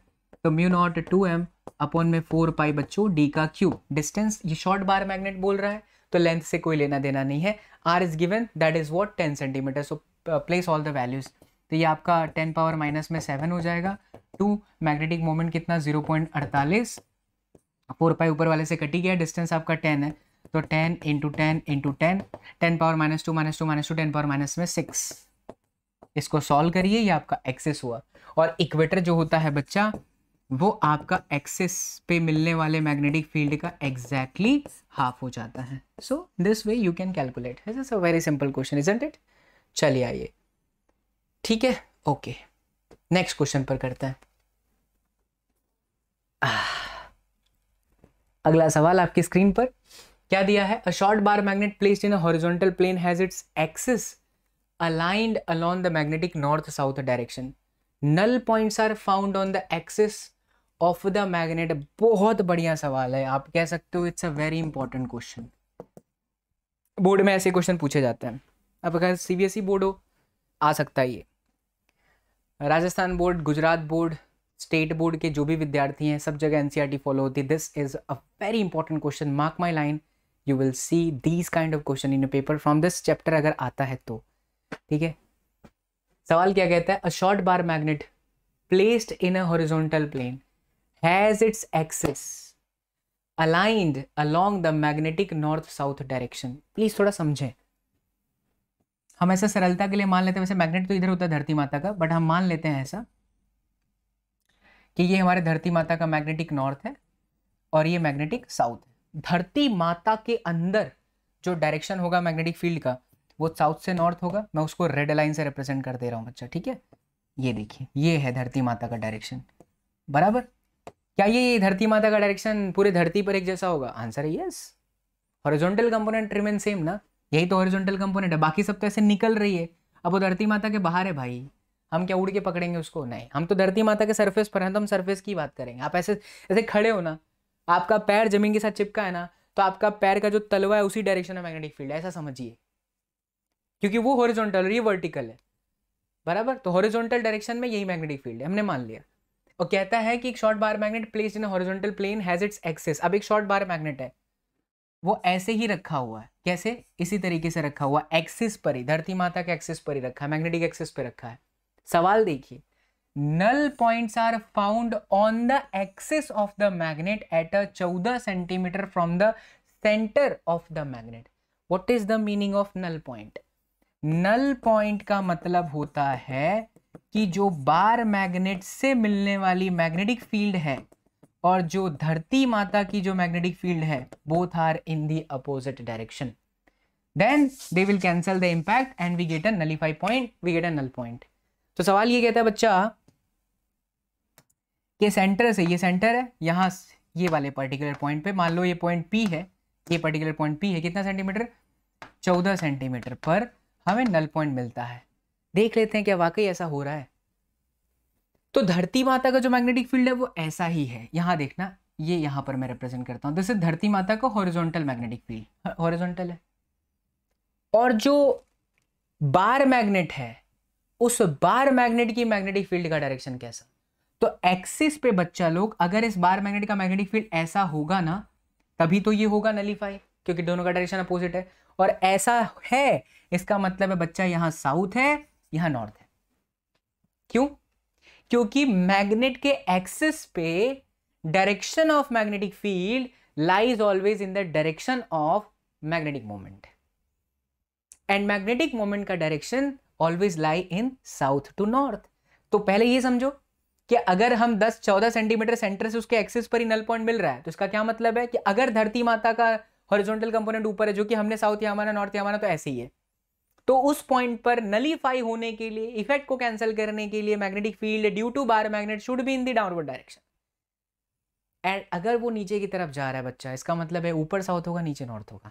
कॉट माई पॉइंट ठीक है, अब तो खेल वहीं खत्म हो गया। तो अब आप क्या लिखोगे?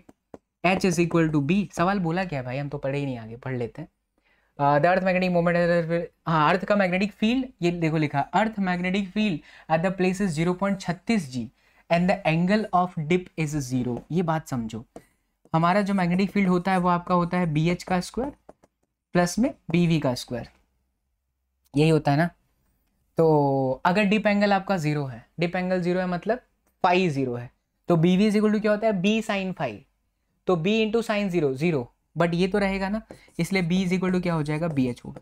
मतलब कि जो धरती माता की मैग्नेटिक फ़ील्ड है, कितनी? ज़ीरो पॉइंट छत्तीस, वही हमारे लिए बी एच है।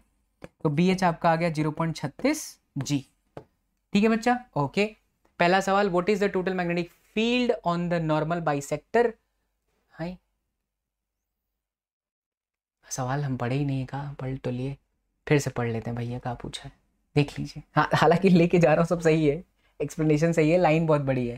Short bar magnet place in horizontal plane has its align along the magnetic north south direction लिख दिया null points are found on the axis of the magnet 14 centimeter from the center of the magnet the earth magnetic field at the place is 0.36 g and the angle of dip is zero angle of dip zero किया तो जो मेरा h है नहीं ये bar magnet की वजह से तो यहाँ बार लिख देता हूँ ये कहानी कुछ और है यहाँ पर बार मैग्नेट का जो है मैग्नेटिक फ़ील्ड ऐसा और ये जो बी है वो अर्थ का है, ठीक है? तो अर्थ का जो मैग्नेटिक फ़ील्ड दिया था, वो दे रखा था तो हॉरिजॉन्टल मिल गया, यानी एच मिल गया।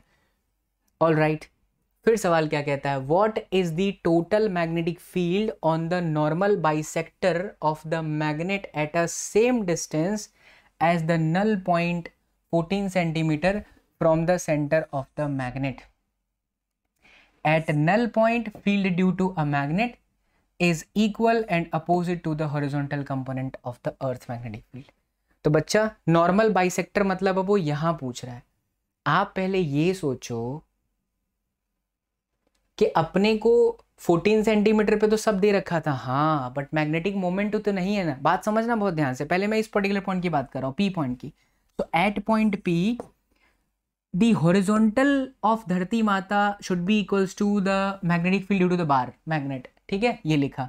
क्या एच मेरे पास है? जी है। ज़ीरो पॉइंट छत्तीस जी है, ठीक है? टेन पावर माइनस में फोर।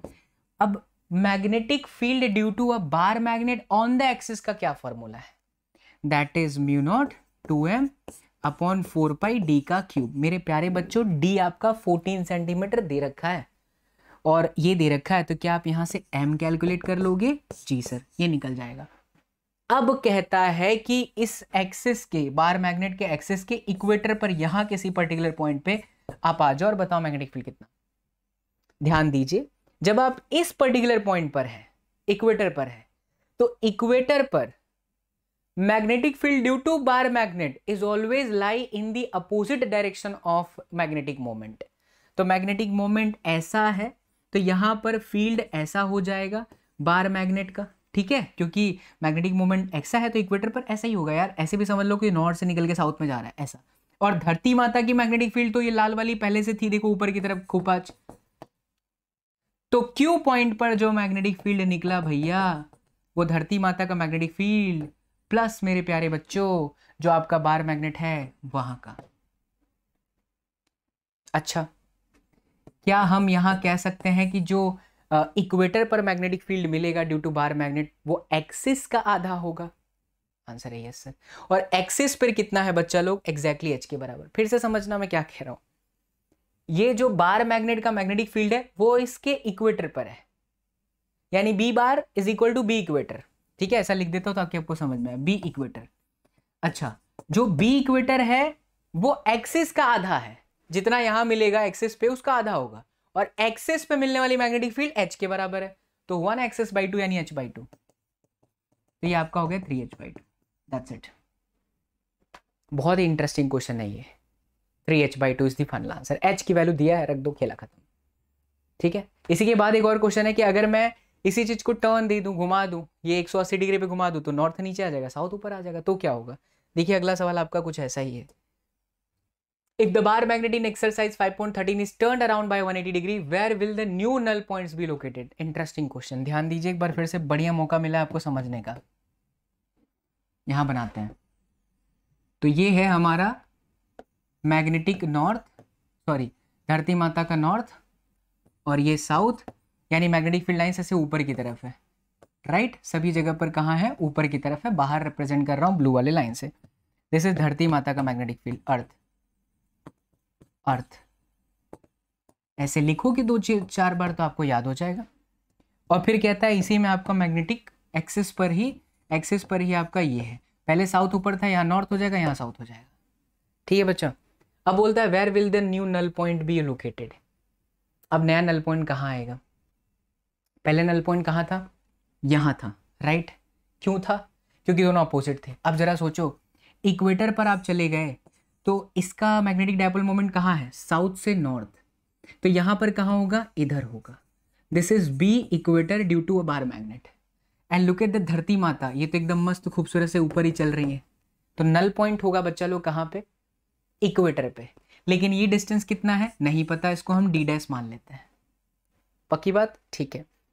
अब देखिए बहुत ध्यान से। तो अब हम लिखेंगे H is equal to B equator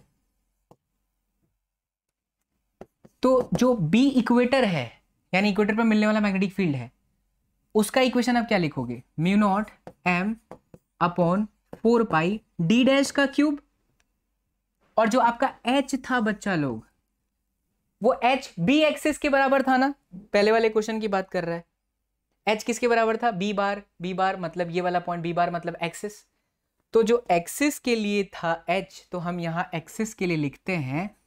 Mu naught two M upon में फोर बाई डी का क्यूब इज़ इक्वल टू देखो पहले वाले क्वेश्चन पर बेसिस से थोड़ा सा इसके अंदर दिमाग लगाना है और कुछ नहीं डी डैश का क्यूब तो म्यूनोट एम से म्यूनोट एम कट गया फोर पाई से फोर पाई कट गया तो जो डी डैश का क्यूब है, वो आपका कितना हो गया D cube divided by two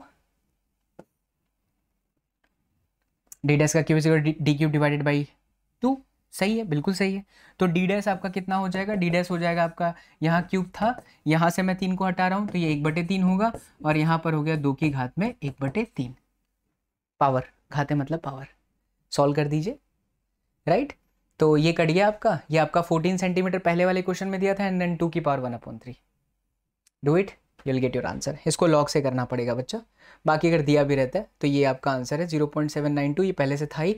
one upon to का पूरा क्यूब करेंगे तो इसका आंसर निकल करके आ जाएगा इलेवन पॉइंट वन सेंटीमीटर मजो आयो? Let's go to the next question इसलिए बोल रहा हूँ, बच्चा लोग फिजिक्स से प्यार हो जाएगा। अगर आप इस प्लेटफॉर्म के विद्यार्थी हो तो ट्रस्ट मी आप लेक्चर्स को धीरे धीरे देखो। The day will come in your life when you realise that आप सब कुछ भूल चुके हैं। वो प्यार हो गया है फिजिक्स के साथ। आइए चलिए पंद्रह क्वेश्चन करते हैं। एक शॉर्ट बार मैग्नेट है। क्या है आपके पास में? एक शॉर्ट बार मैग्नेट है मैग्नेटिक मोमेंट इतना। Is placed with its axis perpendicular the earth field direction at what distance from the centre of a magnet the resultant field is inclined at forty five degree with the earth field at normal bisector its axis magnitude of the earth field at the place is given to be zero point bye Alice G ignore the length of a magnet is compare हाँ बच्चा ये मैं नहीं कराऊँगा। बहुत ही simple है। Short bar magnet का मैग्नेटिक मोमेंट एम दे रखा है। फिर कहता है with is axis perpendicular to the earth field direction ठीक है? At what distance from the centre of the magnet the resultant field is incline axis का निकाल दीजिए formula B is to mu naught two M upon four pi D cube D आपको निकालना है। और फिर बोलता है हाँ नहीं नहीं नहीं नहीं अच्छा सवाल है, इसको बढ़िया से समझाता हूँ आपको देखो ध्यान से। मैं कराऊँगा ये? मैं कराऊँगा? मैं कराऊँगा? मैं कराऊँगा? ध्यान दीजिए। एक शॉर्ट बार मैग्नेट है। ऑफ़ अ मैग्नेटिक मोमेंट इतना। तो पहले एक शॉर्ट बार मैग्नेट बना लेते हैं। देखना कैलकुलेशन तो कुछ नहीं है। पहले हमें समझना है अच्छे से। शॉर्ट बार मैग्नेट ये साउथ ये नॉर्थ इसका मैग्नेटिक डायपोल मोमेंट ऐसा हो गया, ठीक है? तो क्या कहता है बच्चा? A short bar magnet of magnetic moment इतना is placed with its axis perpendicular to the earth field direction earth का फ़ील्ड का डायरेक्शन ले लेते हैं तो ये हमारी अर्थ के फ़ील्ड की डायरेक्शन हो गई। ऐसे। ये हमारा नॉर्थ था, ये हमारा साउथ था तो धरती माता की मैग्नेटिक फ़ील्ड ऐसे ऊपर की तरफ़ जा रही है। This is earth magnetic field H से रिप्रेजेंट कर देता हूँ। हॉरिजॉन्टल मैग्नेटिक फ़ील्ड फिर क्या कहता है कि distance from the centre of the magnet at what distance it's a very interesting line at what distance from the centre of the magnet the resultant field is inclined at 45 degree with the earth field पहला it's normal bisector मतलब इस magnet से normal bisector पर चाहिए eight what distance तो ये distance हमने मान लिया कि डी है। At what distance normal bisector पर गए। और यहाँ पर मिलने वाला जो रिजल्टेंट मैग्नेटिक फ़ील्ड है, वो धरती माता से 42 45 डिग्री पर है। 42 नहीं 45 डिग्री पर वाह। मेरे प्यारे बच्चों, ध्यान दो। अगर मैं इस मैग्नेट से मिलने वाले मैग्नेटिक फ़ील्ड को यहाँ पर रिप्रेजेंट करूँ तो क्या उसका डायरेक्शन ऐसा ही होगा? बार मैग्नेट से मिलने वाला मैग्नेटिक फ़ील्ड बी भी लिख दो? एंड दैट इज़ इक्वेटर बात चमका क्या क्या मैंने बोला? फिर से देखिए, सवाल क्या कहता है कि भैया एक बार मैग्नेट है जो कि मैग्नेटिक फ़ील्ड से परपेंडिकुलर रखा हुआ है।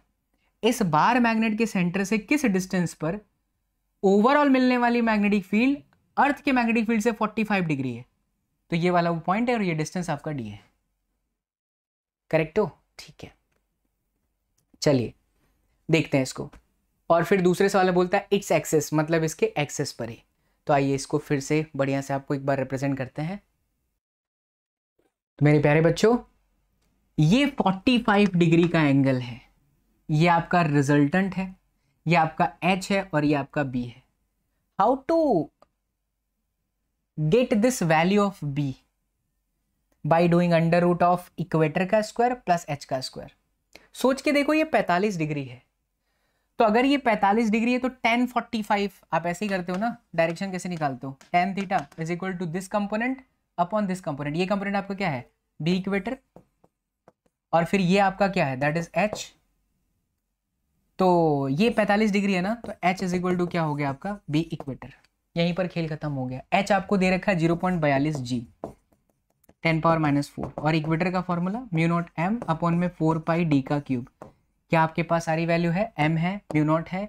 डी आपको निकालना है, ये दे रखा है, यहाँ से easily you can calculate D that's it पहले का पार्ट का आंसर हो गया। अच्छा सवाल था।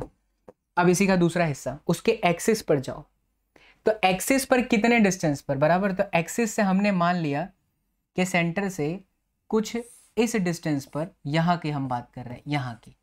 ये डिस्टेंस आपका कितना है? आर मान लो। तो यहाँ पर धरती माता ये रही दिस इज़ हॉरिजॉन्टल, वो तो एक, हर जगह पर एक ही रहेगा।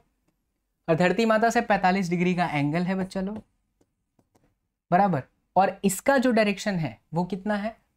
तो इसका जो आपका डायरेक्शन है, वो है साउथ से नॉर्थ यानी कि एक्सेस पर जो डायरेक्शन होता है मैग्नेटिक फ़ील्ड का, वो यही रहता है। ये इस बार आपका बी एक्सेस आ गया। करेक्ट बात? ठीक है। अब यही तो आपसे पूछा है कि एट वॉट डिस्टेंस तो अब अगर यहाँ पर भी 45 डिग्री ही है बच्चा लोग तो अभी भी आप लोग क्या लिखोगे? B axis is equal to H और इस बार बी एक्सेस का फॉर्मूला लगा दो। म्यूनो टाइम अपॉन में four pi mu naught two M upon में फोर पाई डी का cube and then you can get your answer चमका बढ़िया से। कोई दिक्कत वाली बात तो नहीं है? यहाँ पर भी 45 डिग्री है ना? तो tan 45 is equal to this किसके बराबर है? B axis and this that is H के बराबर. वही आ रहा है। बस यहाँ पर लगेगा mu naught two M upon four pi R का cube is equal to H axis पर ये लगाया इक्वेटर पर ये लगाया यहाँ से आर को सब्जेक्ट बना लो एम गिवन है एच गिवन है एवरीथिंग इज़ गिवन तो देखिए, अगर आप इसको सॉल्व कर लेते हैं तो जब आप इक्वेटर पर जा रहे थे, तब आपका आंसर आ रहा था बारह दशमलव पाँच बड़े दस की खाते माइनस तीन. और जब आप यहाँ पर सॉल्व किए तो फिर आपका आंसर आता है छः दशमलव तीन, जहाँ पर फॉर्मूला लगा है किसका? एक्सेस वाला. तो आपका ये सॉल्यूशन ठीक है? चलो, आगे बढ़ते हैं. आ भैया. अब जाकर के पहुँचे हैं एकदम पावरफुल बढ़िया सवाल। आगे के सात आठ सवाल बहुत अच्छे लॉजिकल क्वेश्चन है। मज़ा आता है ऐसे क्वेश्चन को करने में। आओ शुरुआत करते हैं एडिशनल एक्सरसाइज का बच्चा। पहला सवाल, दो शुरुआत के दो सवाल थोड़े थ्रेटिकल हैं, फटाफट करते हैं इनको। Why'd is a paramagnetic sample display greater magnetisation for the same magnetising field when cooled जब आप एक पैरामैग्नेटिक को देखते हो तो उसके अंदर थर्मल वाइब्रेशन होता है। मतलब कि जो रूम टेम्परेचर उसकी वजह से थर्मल वाइब्रेशन होता है तो सारे के सारे मैग्नेटिक डायपोल मोमेंट रैंडम रहते हैं। बट जब आप उसको ठंडा करोगे तो जो आपका रूम टेम्परेचर है, वो कम हुआ, ठंडा हुआ मतलब रूम टेम्परेचर गया रूम टेम्परेचर गया तो उनके वाइब्रेशन कम हुए वाइब्रेशन खत्म हुए तो सबके सब अलाइन हो गए। सारे डायपोल मोमेंट अलाइन हो गए। अगर डायपोल मोमेंट अलाइन हो गए तो अलाइन हो गए तो मैग्नेटिक डाइप मैग्नेटाइजेशन बढ़ गया। देखो मैग्नेटाइजेशन बढ़ना किस बात पर निर्भर करता है? कि मैग्नेटिक डायपोल मोमेंट कैसे सेट है? रैंडम है तो कम होगा। अगर एक ही डायरेक्शन में सेट है तो ज़्यादा होगा। हम क्या कह रहे हैं? टेम्परेचर कम हो रहा है। टेम्परेचर कम हो रहा है तो रैंडमनेस खत्म हो रही है। रैंडमनेस खत्म हो रही है तो सब बेचारे एक डायरेक्शन में, चलो वे सो जाओ। है ना? इसीलिए मैग्नेटाइजेशन इसका बढ़ जाएगा। डन दूसरा वाई से diamagnetism in contrast almost independent of temperature या डायमैग्नेटिज्म के अंदर डायपोल मूवमेंट होता ही नहीं है। तो डायपोल मोमेंट अगर है ही नहीं तो उसके मैग्नेटाइजेशन का टेम्परेचर से क्या लेना देना? क्योंकि डायपोल मोमेंट हो तो उसकी अलाइनमेंट डिपेंड करती है टेम्परेचर पे। तो टेम्परेचर तभी बात बनती है, लेकिन डायमो डायमैग्नेटिक के अंदर है ही नहीं डायपोल मोमेंट तो कोई लेना देना नहीं है। डन तीसरा if a toroid use bismuth bismuth क्या होता है? डायमैग्नेटिक तो कहता है टोरोइड के अंदर अगर आप बिस्मथ रख देते हो will the field in the core greater और लेस मेरे प्यारे बच्चों डायमैग्नेटिक क्या प्रॉपर्टी क्या है? वो मैग्नेटिक फ़ील्ड को रिपेल करती है। तो टोरोइड के अंदर मैग्नेटिक फ़ील्ड को रिपेल करेगी, अंदर आने ही नहीं देगी, जिससे रिजल्टेंट घट जाएगा। Number D is the permeability of a ferromagnetic material independent of the magnetic field if not is it more for lower और हायर फील्ड्स तो इस क्वेश्चन का आंसर देने के लिए देखिए परमियाबिलिटी का जो आप निकालते हो कि B is equal to mu into H होता है। यानी B mu is equal to B by H तो बेसिकली एच यानी कि intensity intensity corresponds to the current तो अगर मैं कहूँ कि म्यू उस पर डिपेंड करता है तो आंसर है यस भाई डिपेंड करता है. इसकी वैल्यू ज़्यादा होगी तो एच की वैल्यू कम होगी. इसकी वैल्यू कम होगी तो इसकी वैल्यू ज़्यादा होगी. यानी डिपेंड करता है. Number E magnetic field lines are always nearly normal to the surface of a ferromagnetic बच्चा जैसे कि कंडक्टर के अंदर आपने पढ़ा था चार्ज पार्टिकल से बने electric field line always perpendicular to surface होती है, वैसे फेरोमैग्नेटिक के अंदर ऑलरेडी डोमेन डोमेन के अंदर बहुत सारे मॉलिक्यूल्स पहले से अपने आप को सेट किए रहते हैं डायपोल मोमेंट इसलिए सरफेस के हमारा मैग्नेटिक फ़ील्ड परपेंडिकुलर होती है। नंबर फाइव कोई भी है, एक, दो, तीन, चार, पाँच छः छठा would the maximum possible magnetisation of a paramagnetic sample be of the same order of magnitude as the magnetisation of a ferromagnet इसका आंसर तो कर सकते हो ना। कहता है कि would the maximum possible magnetisation क्या पैरामैग्नेटिक का पूरी तरह से मैग्नेटाइजेशन पॉसिबल है? Just like a ferromagnetic answer है यस क्योंकि पैरामैग्नेटिक में सब रैंडम सेट है। एक्सटर्नल मैग्नेटिक फ़ील्ड दीजिए, वो मैग्नेटिक फ़ील्ड अलाइनमेंट ला देगा और जो रैंडम सेट है वो सबको एक डायरेक्शन में करेगा। लेकिन इसके लिए बहुत ज़्यादा मात्रा में मैग्नेटिक फ़ील्ड की ज़रूरत पड़ेगी, क्योंकि सब रैंडम है बेचारे पैरा पैरामैग्नेटिक के अंदर। तो एक तरीके से हाँ हो सकता है, लेकिन इतना मैग्नेटिक फ़ील्ड से बन पाना पॉसिबल नहीं है। ओके नेक्स्ट क्वेश्चन पर चलते हैं। Explain the qualitatively on the basis of domain picture the irreversibility in the magnetisation curve for a ferromagnet तो बच्चा इरिवर्सिबिलिटी मतलब फेरोमैग्नेटिक में आपने ये देखा है हिस्टेरिसिस ग्राफ के अंदर, ये सैचुरेशन पॉइंट ये रिटेंटिविटी ये कोर्सिविटी फिर सैचुरेशन फिर रिटेंटिविटी फिर कॉर्सिविटी ऐसा करके लगातार ये रिवर्स में चलता रहता है। तो ये मेरे, आपको पढ़ना पड़ेगा हिस्टेरिसिस जब तक पढ़ोगे नहीं, मैं क्या बोला आपको समझ भी नहीं पड़ेगा। हिस्टेरिसिस कर्व बेसिकली क्या है? सोलेनोइड के अंदर ना फेरोमैग्नेटिक मटेरियल रखते हैं। फिर यहाँ से मैग्नेटिक करंट का डायरेक्शन बढ़ाते करंट की वैल्यू बढ़ाते हैं डायरेक्शन चेंज करते हैं। तो ये एक्सपेरिमेंट से पता चलता है।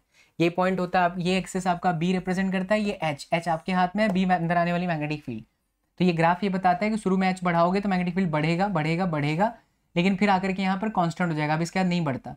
फिर आप एच को घटाओगे तो कहीं पर आकर के यहाँ पर, आप देखो तो करंट तो ज़ीरो है। एच मतलब करंट करंट तो ज़ीरो है बट मैग्नेटिक फ़ील्ड है। इसका मतलब क्या बोलते हैं? हिंदी में इसको बोलते हैं धारणशीलता रेटेंटिविटी रेटेंटिविटी मतलब करंट तो आपने ज़ीरो कर दिया बट मैग्नेटिक फ़ील्ड ज़ीरो नहीं है यार। मैग्नेटिक फ़ील्ड ज़ीरो नहीं मतलब कुछ लोग जो रैंडम थे, बराबर? वो अभी भी रैंडम के रैंडम से अलाइन हुए हुए हुए और फिर अलाइन ही रह गए। इसीलिए current zero but magnetic field है। तो ये टॉपिक आपको अच्छे से पढ़ना पड़ेगा। तो ये ग्राफ से हम कह सकते हैं कि भैया ये रिवर्सिबल है। The hysteresis loop of a soft iron piece has a much smaller area than that of the carbon steel piece. If the material is to go through repeated cycles of a magnetization, which piece will dissipate greater heat? तो जो carbon steel होता है बच्चा उसका graph थोड़ा मोटा होता ही है। और ये ग्राफ किसको रिप्रेजेंट करता है? हमेशा हीट एनर्जी को रिप्रेजेंट करता है। वहीं सॉफ्ट आयरन को आप देखिए तो सॉफ्ट आयरन के अंदर ये इस तरीके से स्मॉलर एरिया होती है। तो जो स्मॉलर एरिया है वो हीट को कम रिप्रेजेंट करेगा जो ग्रेटर है वो ज़्यादा रिप्रेजेंट करेगा because that graph is related to the energy dissipated A system displaying a hysteresis loop such as a ferromagnet is a device for storing the memory. देखिए क्या होता है कि जो हमारा हिस्टेरिसिस के अंदर आया ग्राफ हिस्टेरिसिस ग्राफ आया, वो क्या बता रहा है? बेसिकली वो ये बता रहा है सेचुरेशन दो बार हुआ। अगर आप यहाँ पर ध्यान से देखो तो ये मैग्नेटाइजिंग मैग्नेटाइजिंग सिचुएशन है। ये डी मैग्नेटाइजेशन सिचुएशन है। यहाँ मैग्नेटाइज हुआ मटेरियल यहाँ डी मैग्नेटाइज हुआ। यहाँ भी सेचुरेशन है, यहाँ भी सेचुरेशन है। यहाँ पर रेटेंटिविटी है, यहाँ पे कॉर्सिविटी है, फिर रेटेंटिविटी फिर कॉर्सिविटी तो साइकिल चल रहा है बच्चा। तो अगर साइकिल चल रहा है तो आप ये जान पाओगे ना कि एक मटेरियल कितने बार मैग्नेटाइज हुआ, कितने बार डीमैग्नेटाइज हुआ। So basically it it will work like a memory इसीलिए हम इसको as a memory storage device भी स्टोर यूज़ कर सकते हैं, जो कैसेट वगैरह पहले नहीं चलते थे। तो उसके अंदर यही होता था। What kind of ferromagnetic material is use ferrites याद रखिएगा, बहुत सारे होते हैं। उनकी काफ़ी अच्छी होती है। डीवीडी कैसेट प्लेयर के अंदर उनका यूज़ किया जाता था बंद हो चुके हैं। A certain region of a space is to be shielded from magnetic field suggest a method एक ऐसा मैथड बताइए जहाँ पर मैग्नेटिक फ़ील्ड हो ही ना। मतलब आप उसको शील्ड कर दो, जैसे ये मैग्नेटिक फ़ील्ड लाइन्स है। अब मैं चाहता हूँ इतने डिपार्टमेंट में मैग्नेटिक फ़ील्ड ना रहे, ये खत्म हो जाए। तो ज़ाहिर सी बात है, आप यहाँ पर क्या रख दोगे बच्चा? पैरोमैग्नेटिक मटेरियल रख दो। पैरामैग्नेटिक का एक बॉक्स रख दो सॉफ्ट आयरन का बॉक्स रख दो।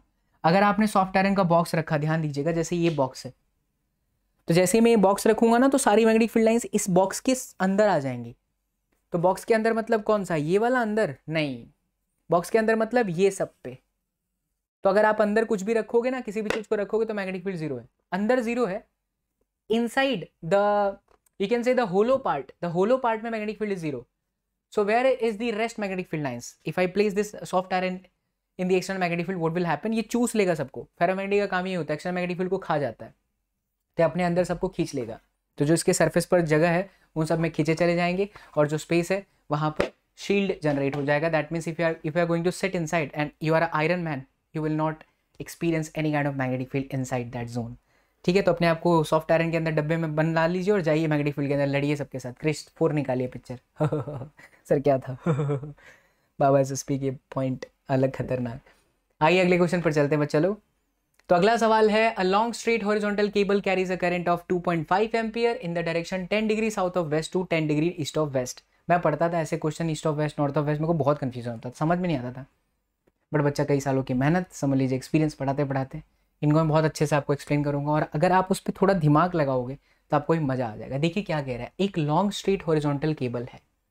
कैरीज द करेंट ऑफ़ ढाई एम्पियर और in the direction ten degree south of west to ten degree north of east तो पहले आप ये समझो कि वायर कहाँ है? ये नॉर्थ ये साउथ ये वेस्ट और ये east west W S T ऐसे याद रखो डब्ल्यू से वायर जो है ना, वो ऐसे है। टेन डिग्री, बच्चा पढ़ो फिर से। Ten degree south of west, यानी वेस्ट से साउथ की तरफ़। ऑफ़ है ना? Ten degree south of west. तो साउथ में तो है, लेकिन कहाँ से? अगर मैं ऐसा बोलता, ten degree west of south तो मैं ऐसे करता, यहाँ पर लेता। लेकिन यहाँ बोल रहा है, ten degree south of west west से। तो ये आपका दस डिग्री है। और फिर ये यहाँ जा रहा है। बराबर? ये दस डिग्री, आपका ये भी दस डिग्री होगा। दिख रहा है साफ़ साफ़ एंड या इस लाइन को आप क्या बोलोगे? Ten degree north of east यही है ना? Ten degree north of east सही है. The magnetic meridian of the place happens to be 10 degree west of the geographic meridian ये आपकी जियोग्राफिक मेरिडियन होती है। ये आपका हुआ बच्चा लोग क्या? मैग्नेटिक मेरिडियन और मैग्नेटिक मेरिडियन कितनी डिग्री पर है? कहाँ गया भैया जी? 10 degree west of the geographic meridian तो 10 डिग्री जियोग्राफिक मेरिडियन से वेस्ट की तरफ़ ये हमारा magnetic meridian magnetic meridian is kind of plane तो ये आपका एक प्लेन है, ऐसा समझिए। ठीक है? ये प्लेन हो गया। अब क्या कहता है बच्चा? The earth magnetic field at the location is zero point तैंतीस जी ये धरती माता का मैग्नेटिक फ़ील्ड ज़ीरो पॉइंट तैंतीस G and the angle of dip is zero जब एंगल ऑफ़ डिप ज़ीरो हो जाए तो बी वी ज़ीरो हो जाता है, क्योंकि जो धरती माता का मैग्नेटिक फ़ील्ड है, वो आपका एच स्क्वायर प्लस वी का स्क्वायर है। We know that V is equal to what that is sine five B sine five now this becomes zero vertical zero because five is going to be zero तो आपका आया क्या? B is equal to H मतलब ये जो value दिया है zero point तैंतीस जी ये आपका धरती माता का हॉरिजॉन्टल मैग्नेटिक फ़ील्ड है। Locate the line of neutral points आपको बताना है न्यूट्रल पॉइंट कहाँ है। बहुत ही सिंपल शब्दों में मैं समझाऊं। तो धरती माता का जो मैग्नेटिक फ़ील्ड है you can see that horizontal वो कहाँ है? वो इसी पर है। इन द मैग्नेटिक मेरिडियन कोई दिक्कत है इसके अंदर? पक्का? सर ठीक है। तो मैग्नेटिक मेरिडियन के अंदर ही धरती माता की मैग्नेटिक फ़ील्ड होगी। और इसी मैग्नेटिक फ़ील्ड पे ये जो वायर है ये भी मैग्नेटिक फ़ील्ड छोड़ेगा। तो अब अपने को समझाना है कि कहाँ पर नल पॉइंट मिलेगा। नल पॉइंट का क्या मतलब होता है? तो नल पॉइंट का मतलब होता है धरती माता की मैग्नेटिक फ़ील्ड और इस करंट कैरिंग वायर से मिलने वाली मैग्नेटिक फ़ील्ड दोनों अपोजिट डायरेक्शन में होने चाहिए। तो चले पहले समझते हैं कि धरती माता ये जो वायर है, इससे मैग्नेटिक फ़ील्ड कहाँ जा रहा है? इसका डायरेक्शन निकालने के लिए करंट थम के डायरेक्शन में रखो। करंट का डायरेक्शन थम के डायरेक्शन में रखो और अपने फोर फिंगर्स को देखो। तो यहाँ पर सब जगह पर ये डॉट डॉट है। मतलब बाहर की तरफ़ निकल रहा है। ऐसे मैग्नेटिक फ़ील्ड लाइन निकल रहा है और यहाँ पर जा रहा है। मतलब बच्चा इस वायर से पर्टिकुलर इस डिस्टेंस पर या यहाँ कहीं पर हो सकता है नल पॉइंट क्योंकि धरती माता का जो मैग्नेटिक फ़ील्ड है वो फिक्स रहेगा, ऊपर की तरफ़ ही है राइट तो इसी लाइन पर आपका मैग्नेटिक फ़ील्ड है that means what you can say is B wire is equal to H neutral point पर यही होगा। और वायर का जो फॉर्मूला होता है, वो होता है म्यूनोट आई अपॉन में टू पाई वाई या two pi R is equal to what that is H H is given तो यहाँ से आप वाई को निकाल सकते हो। इसको हमने वाई कह दिया है। दैट्स इट ठीक है? तो आप वाई को कैलकुलेट करिए। You will get your answer बोलो श्री अम्बे माते की। वेरी गुड तो the final answer is 1.15 centimeter when you place the value will get your answer दरवाज़ा बंद कर दे शुक्ले। नेक्स्ट क्वेश्चन करते हैं। तगड़ा क्वेश्चन है बच्चा लोग। Yes sir a telephone cable at a place has four long straight horizontal wire तो चार लंबे हॉरिजॉन्टल वायर्स हैं। हाँ बच्चा लोग, पानी। शुक्ला जी, परेशान कर दिए थे। चलिए, आइए, लगभग दो घंटे की वीडियो जा रही है ये। But I hope that you people are enjoying the session मज़ा आ रहा होगा आपको। अब आइए देखिए सवाल क्या है। टेलीफोन केबल है at a place has four long तो टेलीफोन के तार हैं, चार लंबे। Carrying a current of one ampere in the same direction east to west सारे के सारे तार जो हैं सेम डायरेक्शन की करंट फ्लो करा रहे हैं और ईस्ट से वेस्ट में है ऐसा। ईस्ट से वेस्ट में है। ईस्ट से वेस्ट में है, मतलब ये ऐसा। बराबर? The earth magnetic field at the place is zero point thirty nine G तो जो धरती माता का मैग्नेटिक फ़ील्ड है इस जगह पर वो ज़ीरो दशमलव उनचालीस जी है। And the angle of dip is पैंतीस डिग्री। एंगल ऑफ़ डिप दे रखा है पैंतीस degree. The magnetic declination is nearly zero और फिर ये भी दे रखा है कि मैग्नेटिक डेक्लिनेशन ज़ीरो है ऑलमोस्ट ज़ीरो है। पूरे ही ज़ीरो है। What are the resultant magnetic field at point four centimeter below the cable below the cable and above the cable शायद यहाँ दो पॉइंट है। तो हम दोनों निकाल करके देखेंगे। एक समझाऊँगा आपको, दूसरा आ जाएगा। शायद यहाँ पर मिस्टेक है। मिस्टेक इतनी है कि बिलो और अबव दोनों पूछ सकता है। तो ऐसे ना पता नहीं चलेगा, बच्चा लोग। मैं आपको एक बढ़िया सा डायग्राम थ्री डायग्राम समझाता हूँ। उसमें एकदम क्लियर हो जाएगा कि सवाल कहना क्या चाहता है। बट हालाँकि कुछ डेटा से हमें डायरेक्टली चीज़ें निकल सकती जैसे कि पहली बात मैग्नेटिक डेक्लिनेशन ज़ीरो है। तो जो जियोग्राफिक मेरिडियन है, वही आपका मैग्नेटिक मेरिडियन है। उसी मैग्नेटिक मेरिडियन में आपका धरती मैग्नेटिक मेरिडियन के अंदर मैग्नेटिक फ़ील्ड होता है है ना? तो जैसे देखो, ये समझो कि ये आपका जियोग्राफिक मेरिडियन और यही मैग्नेटिक मेरिडियन है। क्यों? क्योंकि मैग्नेटिक डेक्लिनेशन ज़ीरो है। तो मैग्नेटिक मेरिडियन मतलब धरती माता का मैग्नेटिक फ़ील्ड यही है। पहली बात, धरती माता का मैग्नेटिक फ़ील्ड दो होता है, एक हॉरिजॉन्टल और एक वर्टिकल तो जो हॉरिजॉन्टल है, वो हम कैसे निकालते हैं? बी कॉस फाई से. वर्टिकल कैसे निकालते हैं? बी साइन फाई से. थिंक अबाउट इट क्या आपके पास में फाई यानी एंगल ऑफ़ डिप गिवन है? The angle of dip is 35 degree यानी कि बी कॉस पैंतीस. अच्छा बी दे रखा है. Earth magnetic field at the place इतना. तो ज़ीरो पॉइंट उनचालीस, दस की घात माइनस चार कॉस पैंतीस डिग्री। थोड़ा कैलकुलेशन आप कर लेना बच्चा कॉस पैंतीस यानी कि साइन नब्बे माइनस पैंतीस and then zero point three nine ten power minus four into sine पैंतीस। साइन पैंतीस डायरेक्टली नेचुरल साइन से मिल जाएगा। तो now you have H as well as V ठीक है? धरती माता का ये है। और ये समझ में आ गया कि यही वाली मैग्नेटिक मेरिडियन ही जो है हमारी वो आ, क्या है? जियोग्राफिक मेरिडियन के साथ पैरेलल में, क्योंकि दोनों एक ही जगह पर है there is no magnetic declination so that's why am saying कि मैग्नेटिक मेरिडियन जियोग्राफिक मेरिडियन ऐसा हो गया। अब बच्चा देखो, ये प्लेन ऐसा है मैग्नेटिक मेरिडियन तो और वायर ऐसा है, ठीक है? तो इस वायर से बिलो पूछ रहा है और एबव पूछ रहा है। तो जब तक मैं थ्री में नहीं जाऊँगा, ये आपके पल्ले नहीं पड़ेगा। ये समझ पड़ गया ना? थ्री डायग्राम से देखो और क्लियर हो जाएगा। आइए देखिए। तो यहाँ पर मैं बनाता हूँ कुछ इस तरीके का सिचुएशन ये हमारा वेस्ट ये हमारा ईस्ट बराबर, चलोगे भाई तुम? ये धोखा दे रहे हैं, फिर से बनाते हैं। तो ये है बच्चा लोग वेस्ट, ये है बच्चा लोग ईस्ट, ये है बच्चा लोग नॉर्थ और ये है बच्चा लोग साउथ। राइट हो यहाँ पर एक प्लेन है। ऐसा। ठीक है। इस तरीके से। और ये हम ले लेते हैं यहाँ पर वर्टिकल प्लेन कुछ ऐसा। Right right? तो ये आपको थ्री समझ में आ रहा है अच्छे से? यहाँ पर एक प्लेन है और उसके ऊपर ये ऐसा एक्सेस निकला हुआ है। करेक्ट तो ये थ्री में थोड़ा बढ़िया से समझ में आ रहा है। और जो वायर है, उसकी डायरेक्शन ऐसी है ईस्ट से वेस्ट ऐसे चार तार है। अब आपसे बोल रहा है कि वायर के बिलो मैं वायर के ऊपर पहले समझाता हूँ बिलो आपको अपने आप समझ में आ जाएगा। ये तार है ऐसा समझो, ये तार है। इस तार के ऊपर क्या होगा रिजल्टेंट मैग्नेटिक फ़ील्ड ठीक? अब देखो बच्चा, जो ये मेरा नॉर्थ और साउथ है, क्या हमारे धरती माता का मैग्नेटिक फ़ील्ड ऐसा ही है? क्योंकि एक्सिस पर तो ये हॉरिजॉन्टल होगा ही तो ये डायरेक्शन जो रेड वाला है, मैं इसको ऐसे रिप्रेजेंट कर देता हूँ।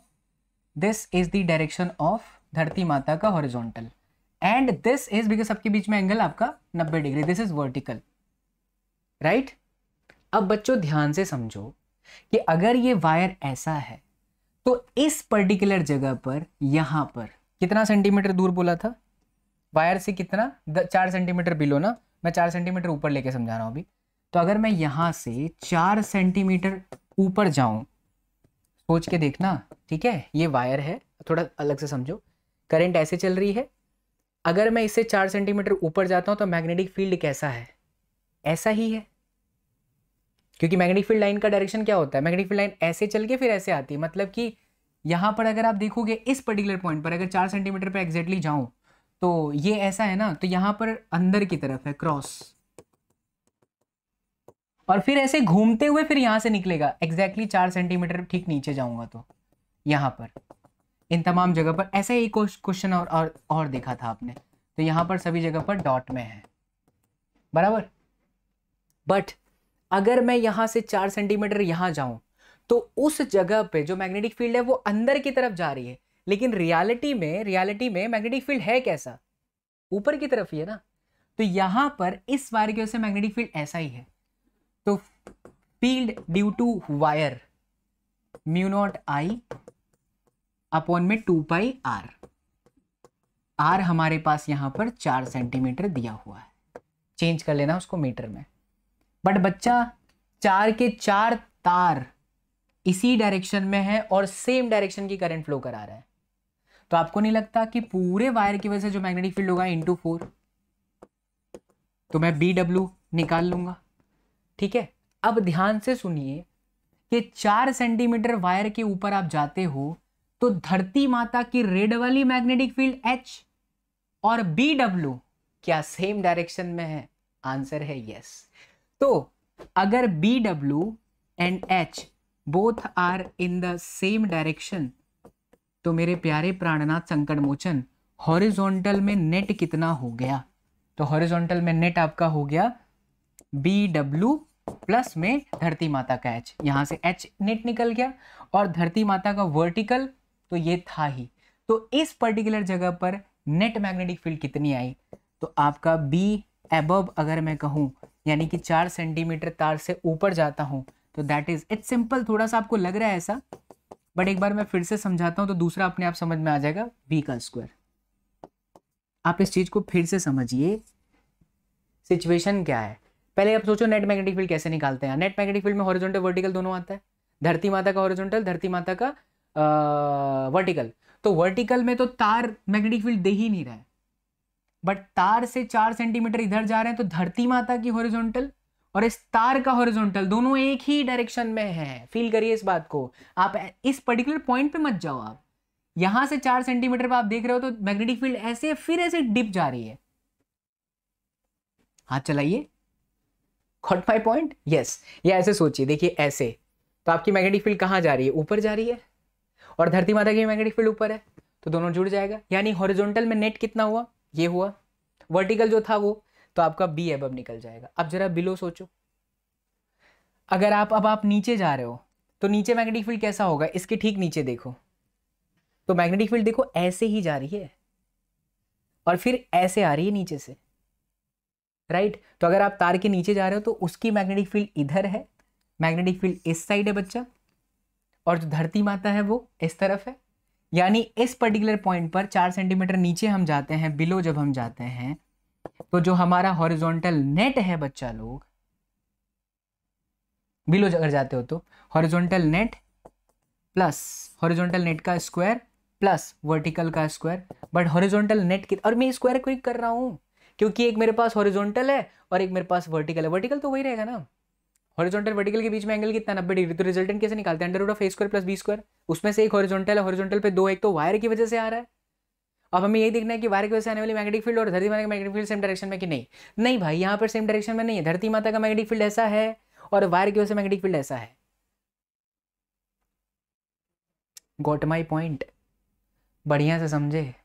फिलवा आया कि नहीं आया? ठीक है। अच्छे से? बहुत बढ़िया। चलिए ठीक है। तो अब जब ये एच नेट देखोगे बिलो में तो एच नेट कितना हो जाएगा? दिक्कत हो तो प्लीज़ कमेंट करिएगा। तो एच नेट आपका हो जाएगा धरती माता का एच माइनस में बी डब्ल्यू अभी डिपेंड करेगा कौन बड़ा है। दोनों आपने निकाला है। अगर एच बड़ा हुआ तो फिर ठीक है। अगर माइनस आता भी तो भी यहाँ स्क्वायर हो जाएगा तो फिर आपका बिलो भी आ जाएगा। तो ये एच नेट यहाँ रखिए। एक बार एच नेट आपका प्लस है और एक बार आपका माइनस है रखा तो आंसर को पाँच खेला खत्म, पैसा जम भोजी नाचे क्षमा क्षम चलिए आइए। तो ये देखो मैग्नेटिक फ़ील्ड पहले इन्होंने फोर से मल्टीप्लाई कर दिया। फिर यही वाला फॉर्मूला जो मैंने लगाया बच्चा लोग। राइट इसको सॉल्व कर लेना। दैट्स इट आइए आगे बढ़ते हैं बीसवा सवाल। बीसवा सवाल पर चलते हैं।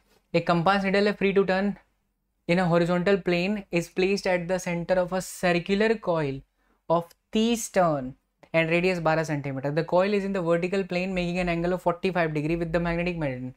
When the current in the coil is 0.35 ampere, the needle point west to east, बहुत अच्छा सवाल है, फिर से बहुत तगड़ा सवाल है। इसमें मेन डायरेक्शन नहीं है पूरा तो ध्यान देना अच्छे से। तो एक कंपास निडल है free to turn in a horizontal plane is placed at the centre of a circular coil तो एक सर्कुलर कॉइल है, उसमें ना बच्चा लोग, एक निडल है। ठीक है? जिसमें थर्टी टर्न्स दिया है, इसमें नंबर ऑफ़ टर्न्स दे रखा है तीस। राइट, और इसकी रेडियस दे रखी है बच्चा। दैट इज़ ट्वेल्व सेंटीमीटर और यहीं पर आपका मैग्नेटिक निडल है। तो compass needle is free to turn compass needle is free to turn ये ऐसे फ्री है टर्न होने के लिए इन हॉरिजॉन्टल प्लेन अगर ये हॉरिजॉन्टल प्लेन सरफेस को मैं मान रहा हूँ तो इसमें ये ऐसे ऐसे निडल फ्री है रोटेट होने के लिए। The coil is in vertical plane it's a very important line the coil is in vertical plane making an angle 45 degree with the magnetic meridian. अच्छा। When the current in the coil is 0.35 ampere देखो इसका current भी दे रखा है। 0.35 ampere the needle points west to east wow जब इसमें से करंट फ्लो कराई गई तो यह निडल वेस्ट से ईस्ट में चला गया। सोच के देखो बच्चा। मैग्नेटिक कंपास जिस दिशा में होता है, वही दिशा रिजल्टेंट मैग्नेटिक फ़ील्ड को रिप्रेजेंट करती है। अब सोच के देखो, पहले ये बात क्लियर हुआ?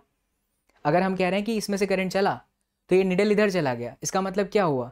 कि इसी डायरेक्शन में रिजल्टेंट मैग्नेटिक फ़ील्ड है वेस्ट टू ईस्ट डायरेक्शन में। अगर इसी डायरेक्शन में रिजल्टेंट मैग्नेटिक फ़ील्ड इसका मतलब है कि जितनी भी मैग्नेटिक फ़ील्ड मिल सकती है, वो तमाम इसी डायरेक्शन में है। कितनी मैग्नेटिक फ़ील्ड मिल सकती है? धरती माता की वजह से प्लस अर्थ की वजह से प्लस इस करंट कैरिंग रिंग की वजह से। क्योंकि करंट कैरिंग रिंग की वजह से मैग्नेटिक फ़ील्ड का डायरेक्शन फॉर्मूला होता है mu naught N I upon में टू आर बट आप इसको थोड़ा डायग्राम से समझना पड़ेगा अच्छे से। थोड़ा आगे और लाइन पढ़ते हैं। Determine the horizontal component of earth magnetic field at the location तो इस लोकेशन पर आपको ये बताना है। अच्छा अब यहाँ पर ना एक और कंडीशन देखिए। ये वाली लाइन को बहुत अच्छे से समझना। The coil is in vertical plane making an angle of 45 degree with the magnetic meridian तो मैग्नेटिक मेरिडियन के साथ ये 35 डिग्री का एंगल बना रहा है। आओ बच्चा लोग।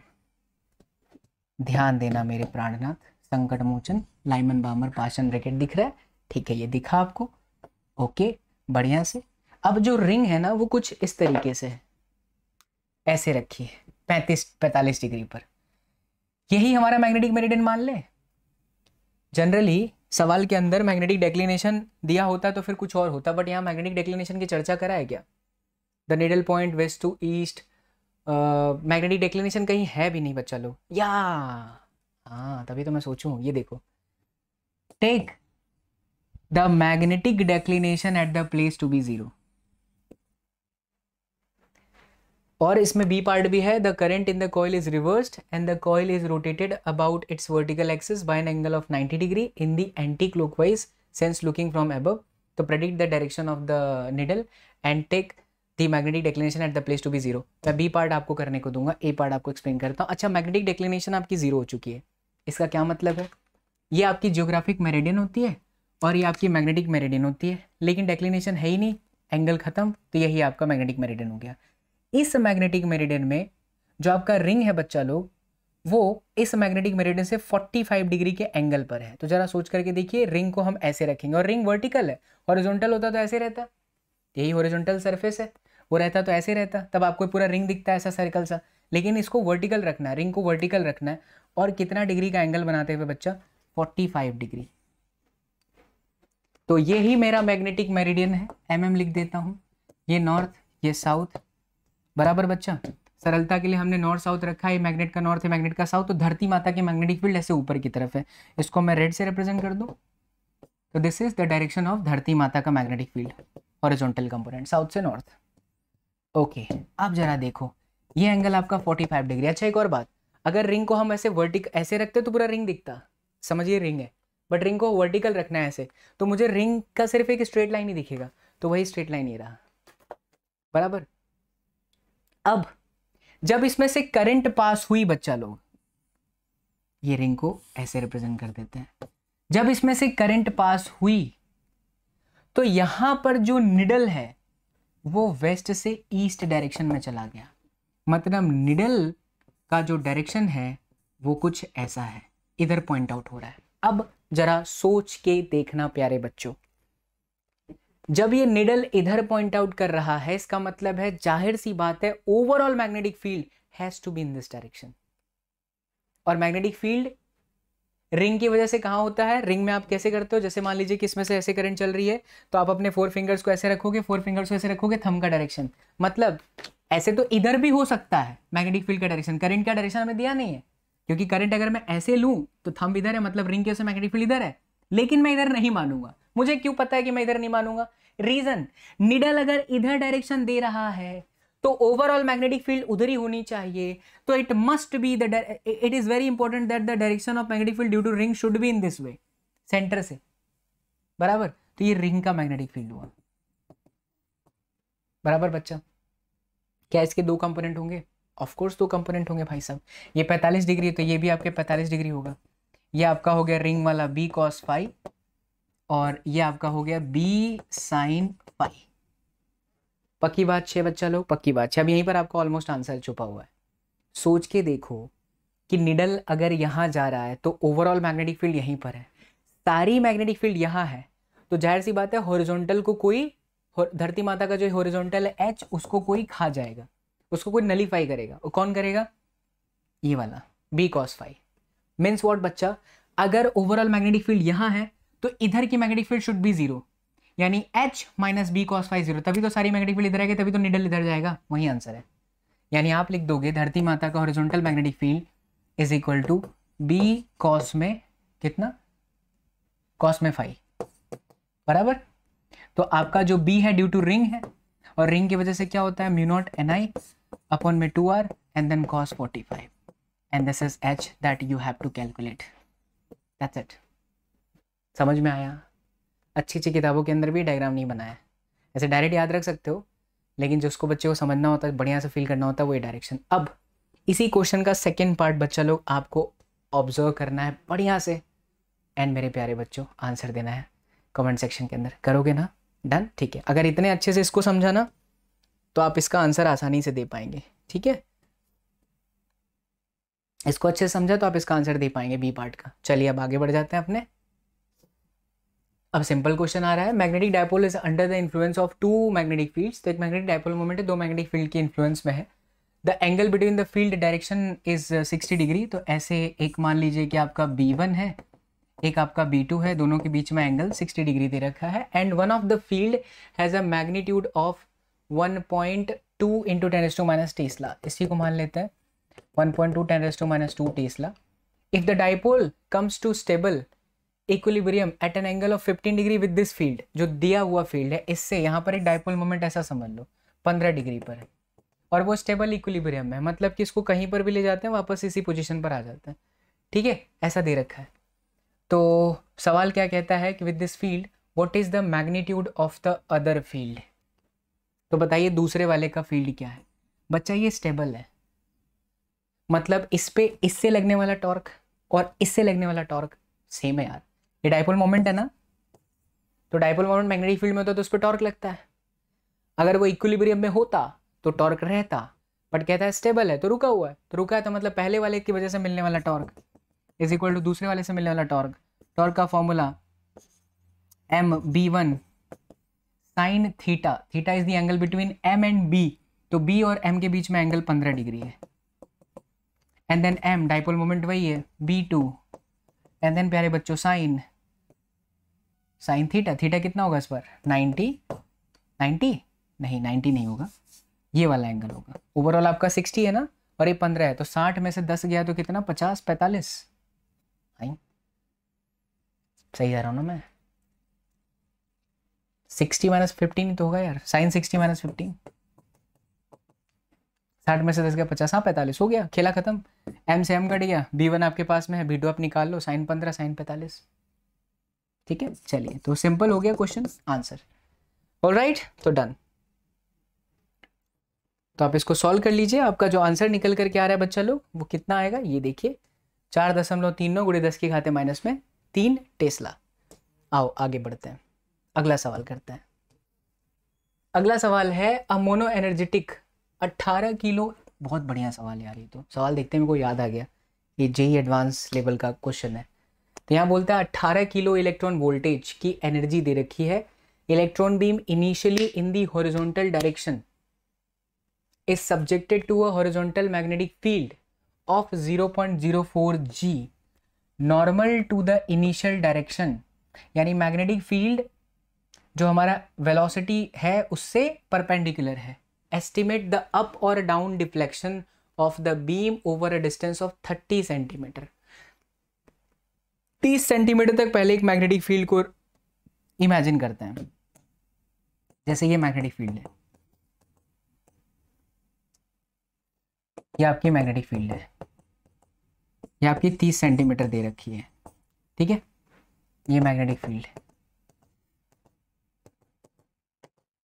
सर्कल पूरा बनेगा कि नहीं पहला तो वही सवाल होता है। इसलिए बड़ा इंटरेस्टिंग है ये पॉइंट तो ध्यान से समझना।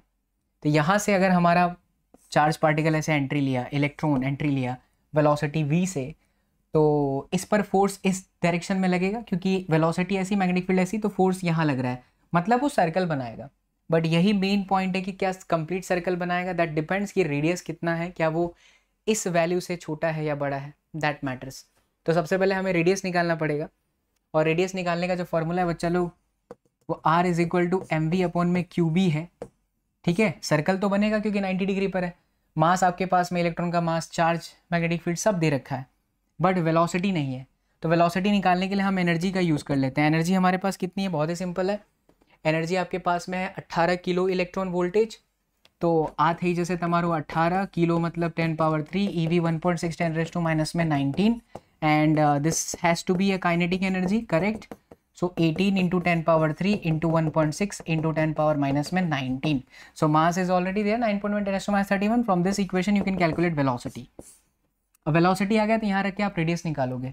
अब क्योंकि बहुत सारे समय से कर रहा हूँ बच्चा लोग तो हमको पता है कि जो रेडियस आएगा वो लगभग 11.3 मीटर आएगा। सोच के देखिए रेडियस 11.3 मीटर का चाहिए।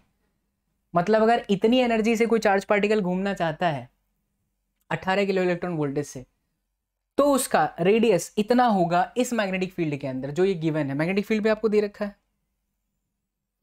0.04 G which is a very small तो ये आपका मैग्नेटिक फ़ील्ड 0.04 जी है। अब जरा सोच के देखो बट सवाल में कहता है कि भाई मैग्नेटिक फ़ील्ड 30 सेंटीमीटर तक के अंदर ही डिफ्लेक्शन बताना है।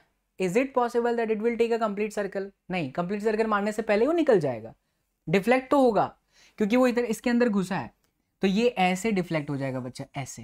क्योंकि मैग्नेटिक फ़ील्ड तीस सेंटीमीटर तक है, उसके बाद तो मैग्नेटिक फ़ील्ड है ही नहीं तो सीधा चला गया। बात आई समझ में? कंप्लीट सर्कल कब बनेगा यार? जब मैग्नेटिक फ़ील्ड भी बहुत लंबा हो अच्छा खासा रीजन तक हो।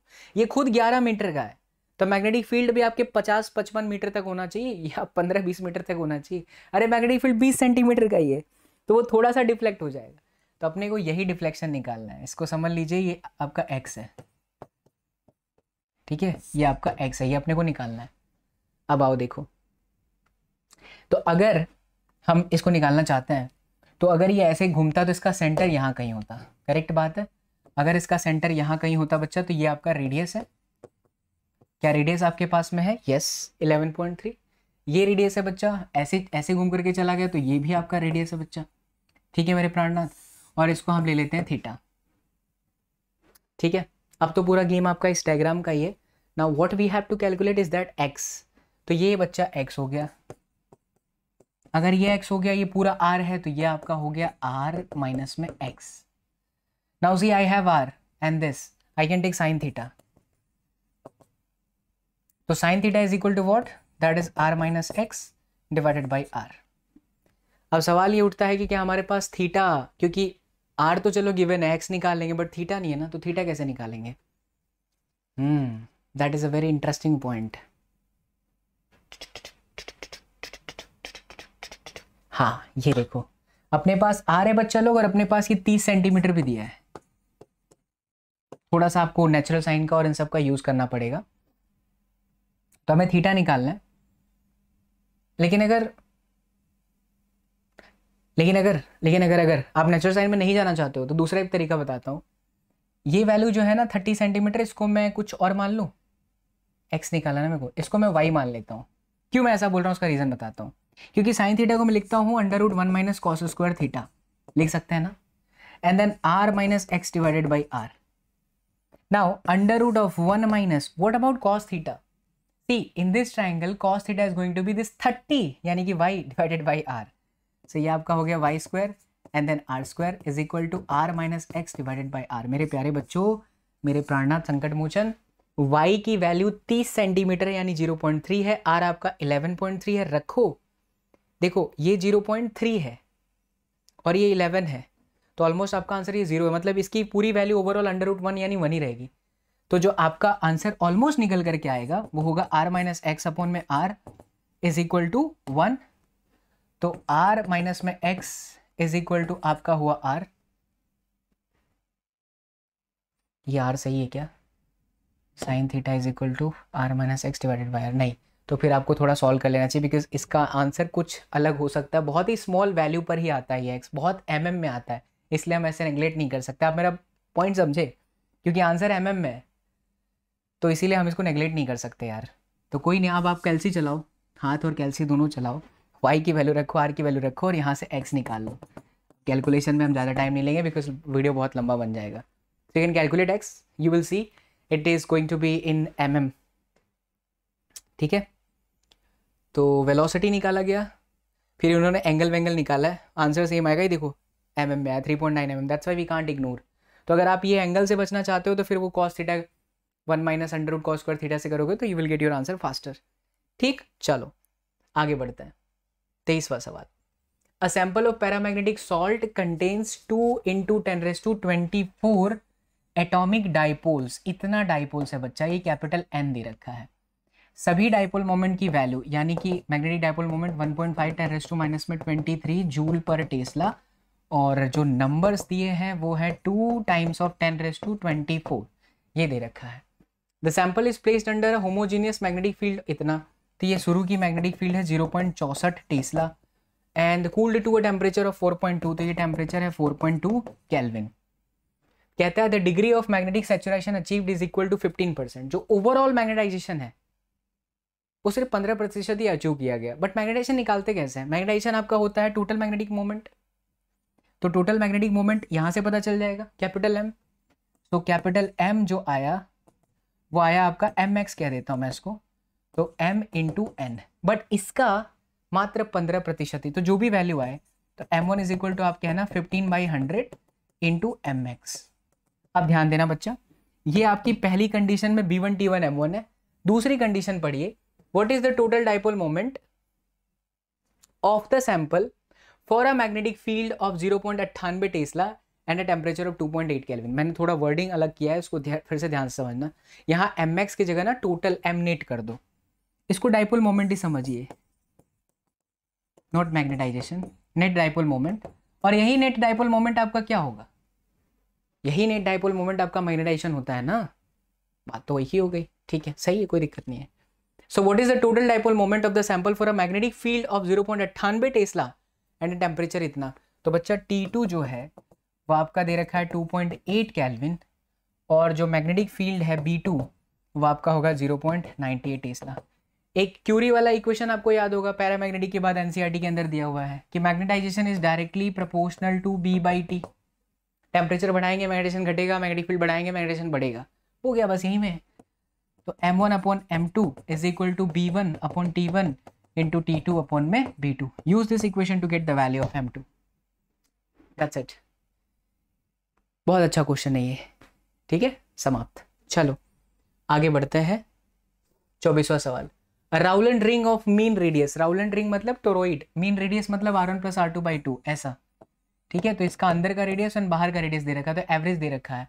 Wire bound on a ferromagnetic core of relative permeability तो म्यू आर आपको दे रखा है 800 what is the magnetic field B in the core of for a magnetising current of 1.2 तो it's a very simple question B is equal to mu naught N I upon में two पाई R ठीक है, बच्चा लोग? ये ध्यान रखिए कि म्यू नॉट नहीं होगा यहाँ पर क्योंकि मटेरियल अलग है। तो ये आपका होगा म्यू एन आई अपॉन में two pi R now we know that mu R is equal to mu upon में mu naught so in place of mu, we are going to write, we are going to write mu r into mu naught ये आपका हुआ mu naught mu r ni upon 2 pi r just place the value and get the answer चलिए last question थोड़ा theoretical है। खत्म हो जाएगा, इसमें कुछ नहीं है। कहता है the magnetic moment vectors mu S and mu L associated with the intrinsic spin angular moment देखो जो इलेक्ट्रॉन होता है ऑर्बिट में बच्चा वो दो तरीके का मोमेंट रखता है। एक होता है, वो अपनी जगह पे स्पिन करता है। स्पिन करते हुए आगे चलता है। और एक होता है कि वो ऑर्बिटल में ऐसे घूमता रहता है। तो दोनों की वजह से मैग्नेटिक मोमेंट रहता है। एक होता है ऑर्बिटल मैग्नेटिक मोमेंट और एक होता है स्पिन मैग्नेटिक मोमेंट लेकिन क्लासिकल फिजिक्स में सिर्फ़ ऑर्बिटल मैग्नेटिक मोमेंट का ही फॉर्मूला सामने आया है। स्पिन का नहीं पता है अभी तक। तो हम क्लासिकल का कैसे लाए हैं? वो चैप्टर में भी पढ़ चुके हैं चैप्टर नंबर फोर में। कैसे निकालते हैं magnetic moment I into A से इलेक्ट्रॉन अगर ऑर्बिट में घूम रहा है तो। आई यानी कि चार्ज यानी इलेक्ट्रॉन अपॉन में टाइम कैपिटल टी एरिया आपका पाई आर का स्क्वायर तो ये आपका इलेक्ट्रॉन दूसरे स्लाइड पर ले लेना पड़ेगा। तो देखिए, ये आपका इलेक्ट्रॉन है, ये आपका रेडियस है करेक्ट ये घूम रहा है, चक्कर लगाएगा तो कैपिटल टी जितना टाइम होगा। तो आई आपका हो गया ई अपॉन में टी टाइम पीरियड को लिख सकते हैं speed V V equal to two pi R by T T is equal to two pi R by V so it is going to be E V upon में two pi R correct Now what about magnetic moment I which is EV upon में 2 pi r into area of the circle that is pi r का square. See r r cancel out, pi pi cancel out. It is now EVR by 2. We also know that M से multiply M से divide करो तो क्या होगा M V R into E M से multiply किया M V R into E divided by two M look at this बच्चों, ये एम वी आर आपका क्या होता है? एंगुलर मोमेंटम तो ये आपका हुआ ई एल अपॉन में टू एम बस यही था डायरेक्शन माइनस आएगा बिकॉज़ एंगुलर मोमेंटम का डायरेक्शन जो है, वो इलेक्ट्रॉन के अपोजिट है इलेक्ट्रॉन पे साइन माइनस है. इसीलिए यहाँ पर माइनस आता है. इसको गायरोमैग्नेटिक रेशियो भी कहते हैं बिकॉज़ इसकी वैल्यू जो होती है, वो almost 8.8 point eight into ten to ten coulomb पर की आती है. ई और टू एम दोनों कॉन्स्टेंट है, उसी को गायरोमैग्नेटिक रेशियो कहते हैं. तो यही आपने प्रूफ किया हुआ है. लेकिन जो स्पिन वाला है वो आपके पास में नहीं है। तो यही चीज़ यहाँ पर कह रहा है बच्चा स्पिन के लिए ये है E by M s and this which of this relation is in accordance with uh, the result expected classically तो क्लासिकली के लिए यही आपके पास आया बाकी तो अभी बा, आना बाकी है। तो चलिए बच्चा इस तरीके से आपका जो सारा का सारा चैप्टर है वो सारा चैप्टर का example exercise additional everything we have covered and it's done chapter five हो चुका है chapter six chapter seven chapter eight nine ten ऐसे करके पूरा। आपके एग्ज़ाम से पहले दिसंबर के एंड एंड तक सब कुछ आ जाएगा। उम्मीद करता हूँ दैट आप लोग अपनी पढ़ाई बहुत अच्छे तरीके से कर रहे हैं। इस चैनल पर सारे वीडियोस आपको फ्री में एकदम क्वालिटी एजुकेशन दिया जा रहा है। लीजिए बच्चा फिजिक्स पढ़िए, मज़ेदार तरीके से, बहुत जल्द अब आपको यहाँ पर केमिस्ट्री और बायो के टीचर्स को भी मैं लॉन्च करने वाला हूँ। उम्मीद करता हूँ कि आपने सैंपल पेपर परचेज कर लिया, नहीं किया तो ज़रूर कर लीजिएगा। Thank you so much Thank you so much, Bachalo, for watching the video. See you all in the next class. Till then, do whatever you want to do, man, but don't trouble your mom. Take care, love you all. Thank you so much. Jai Hind.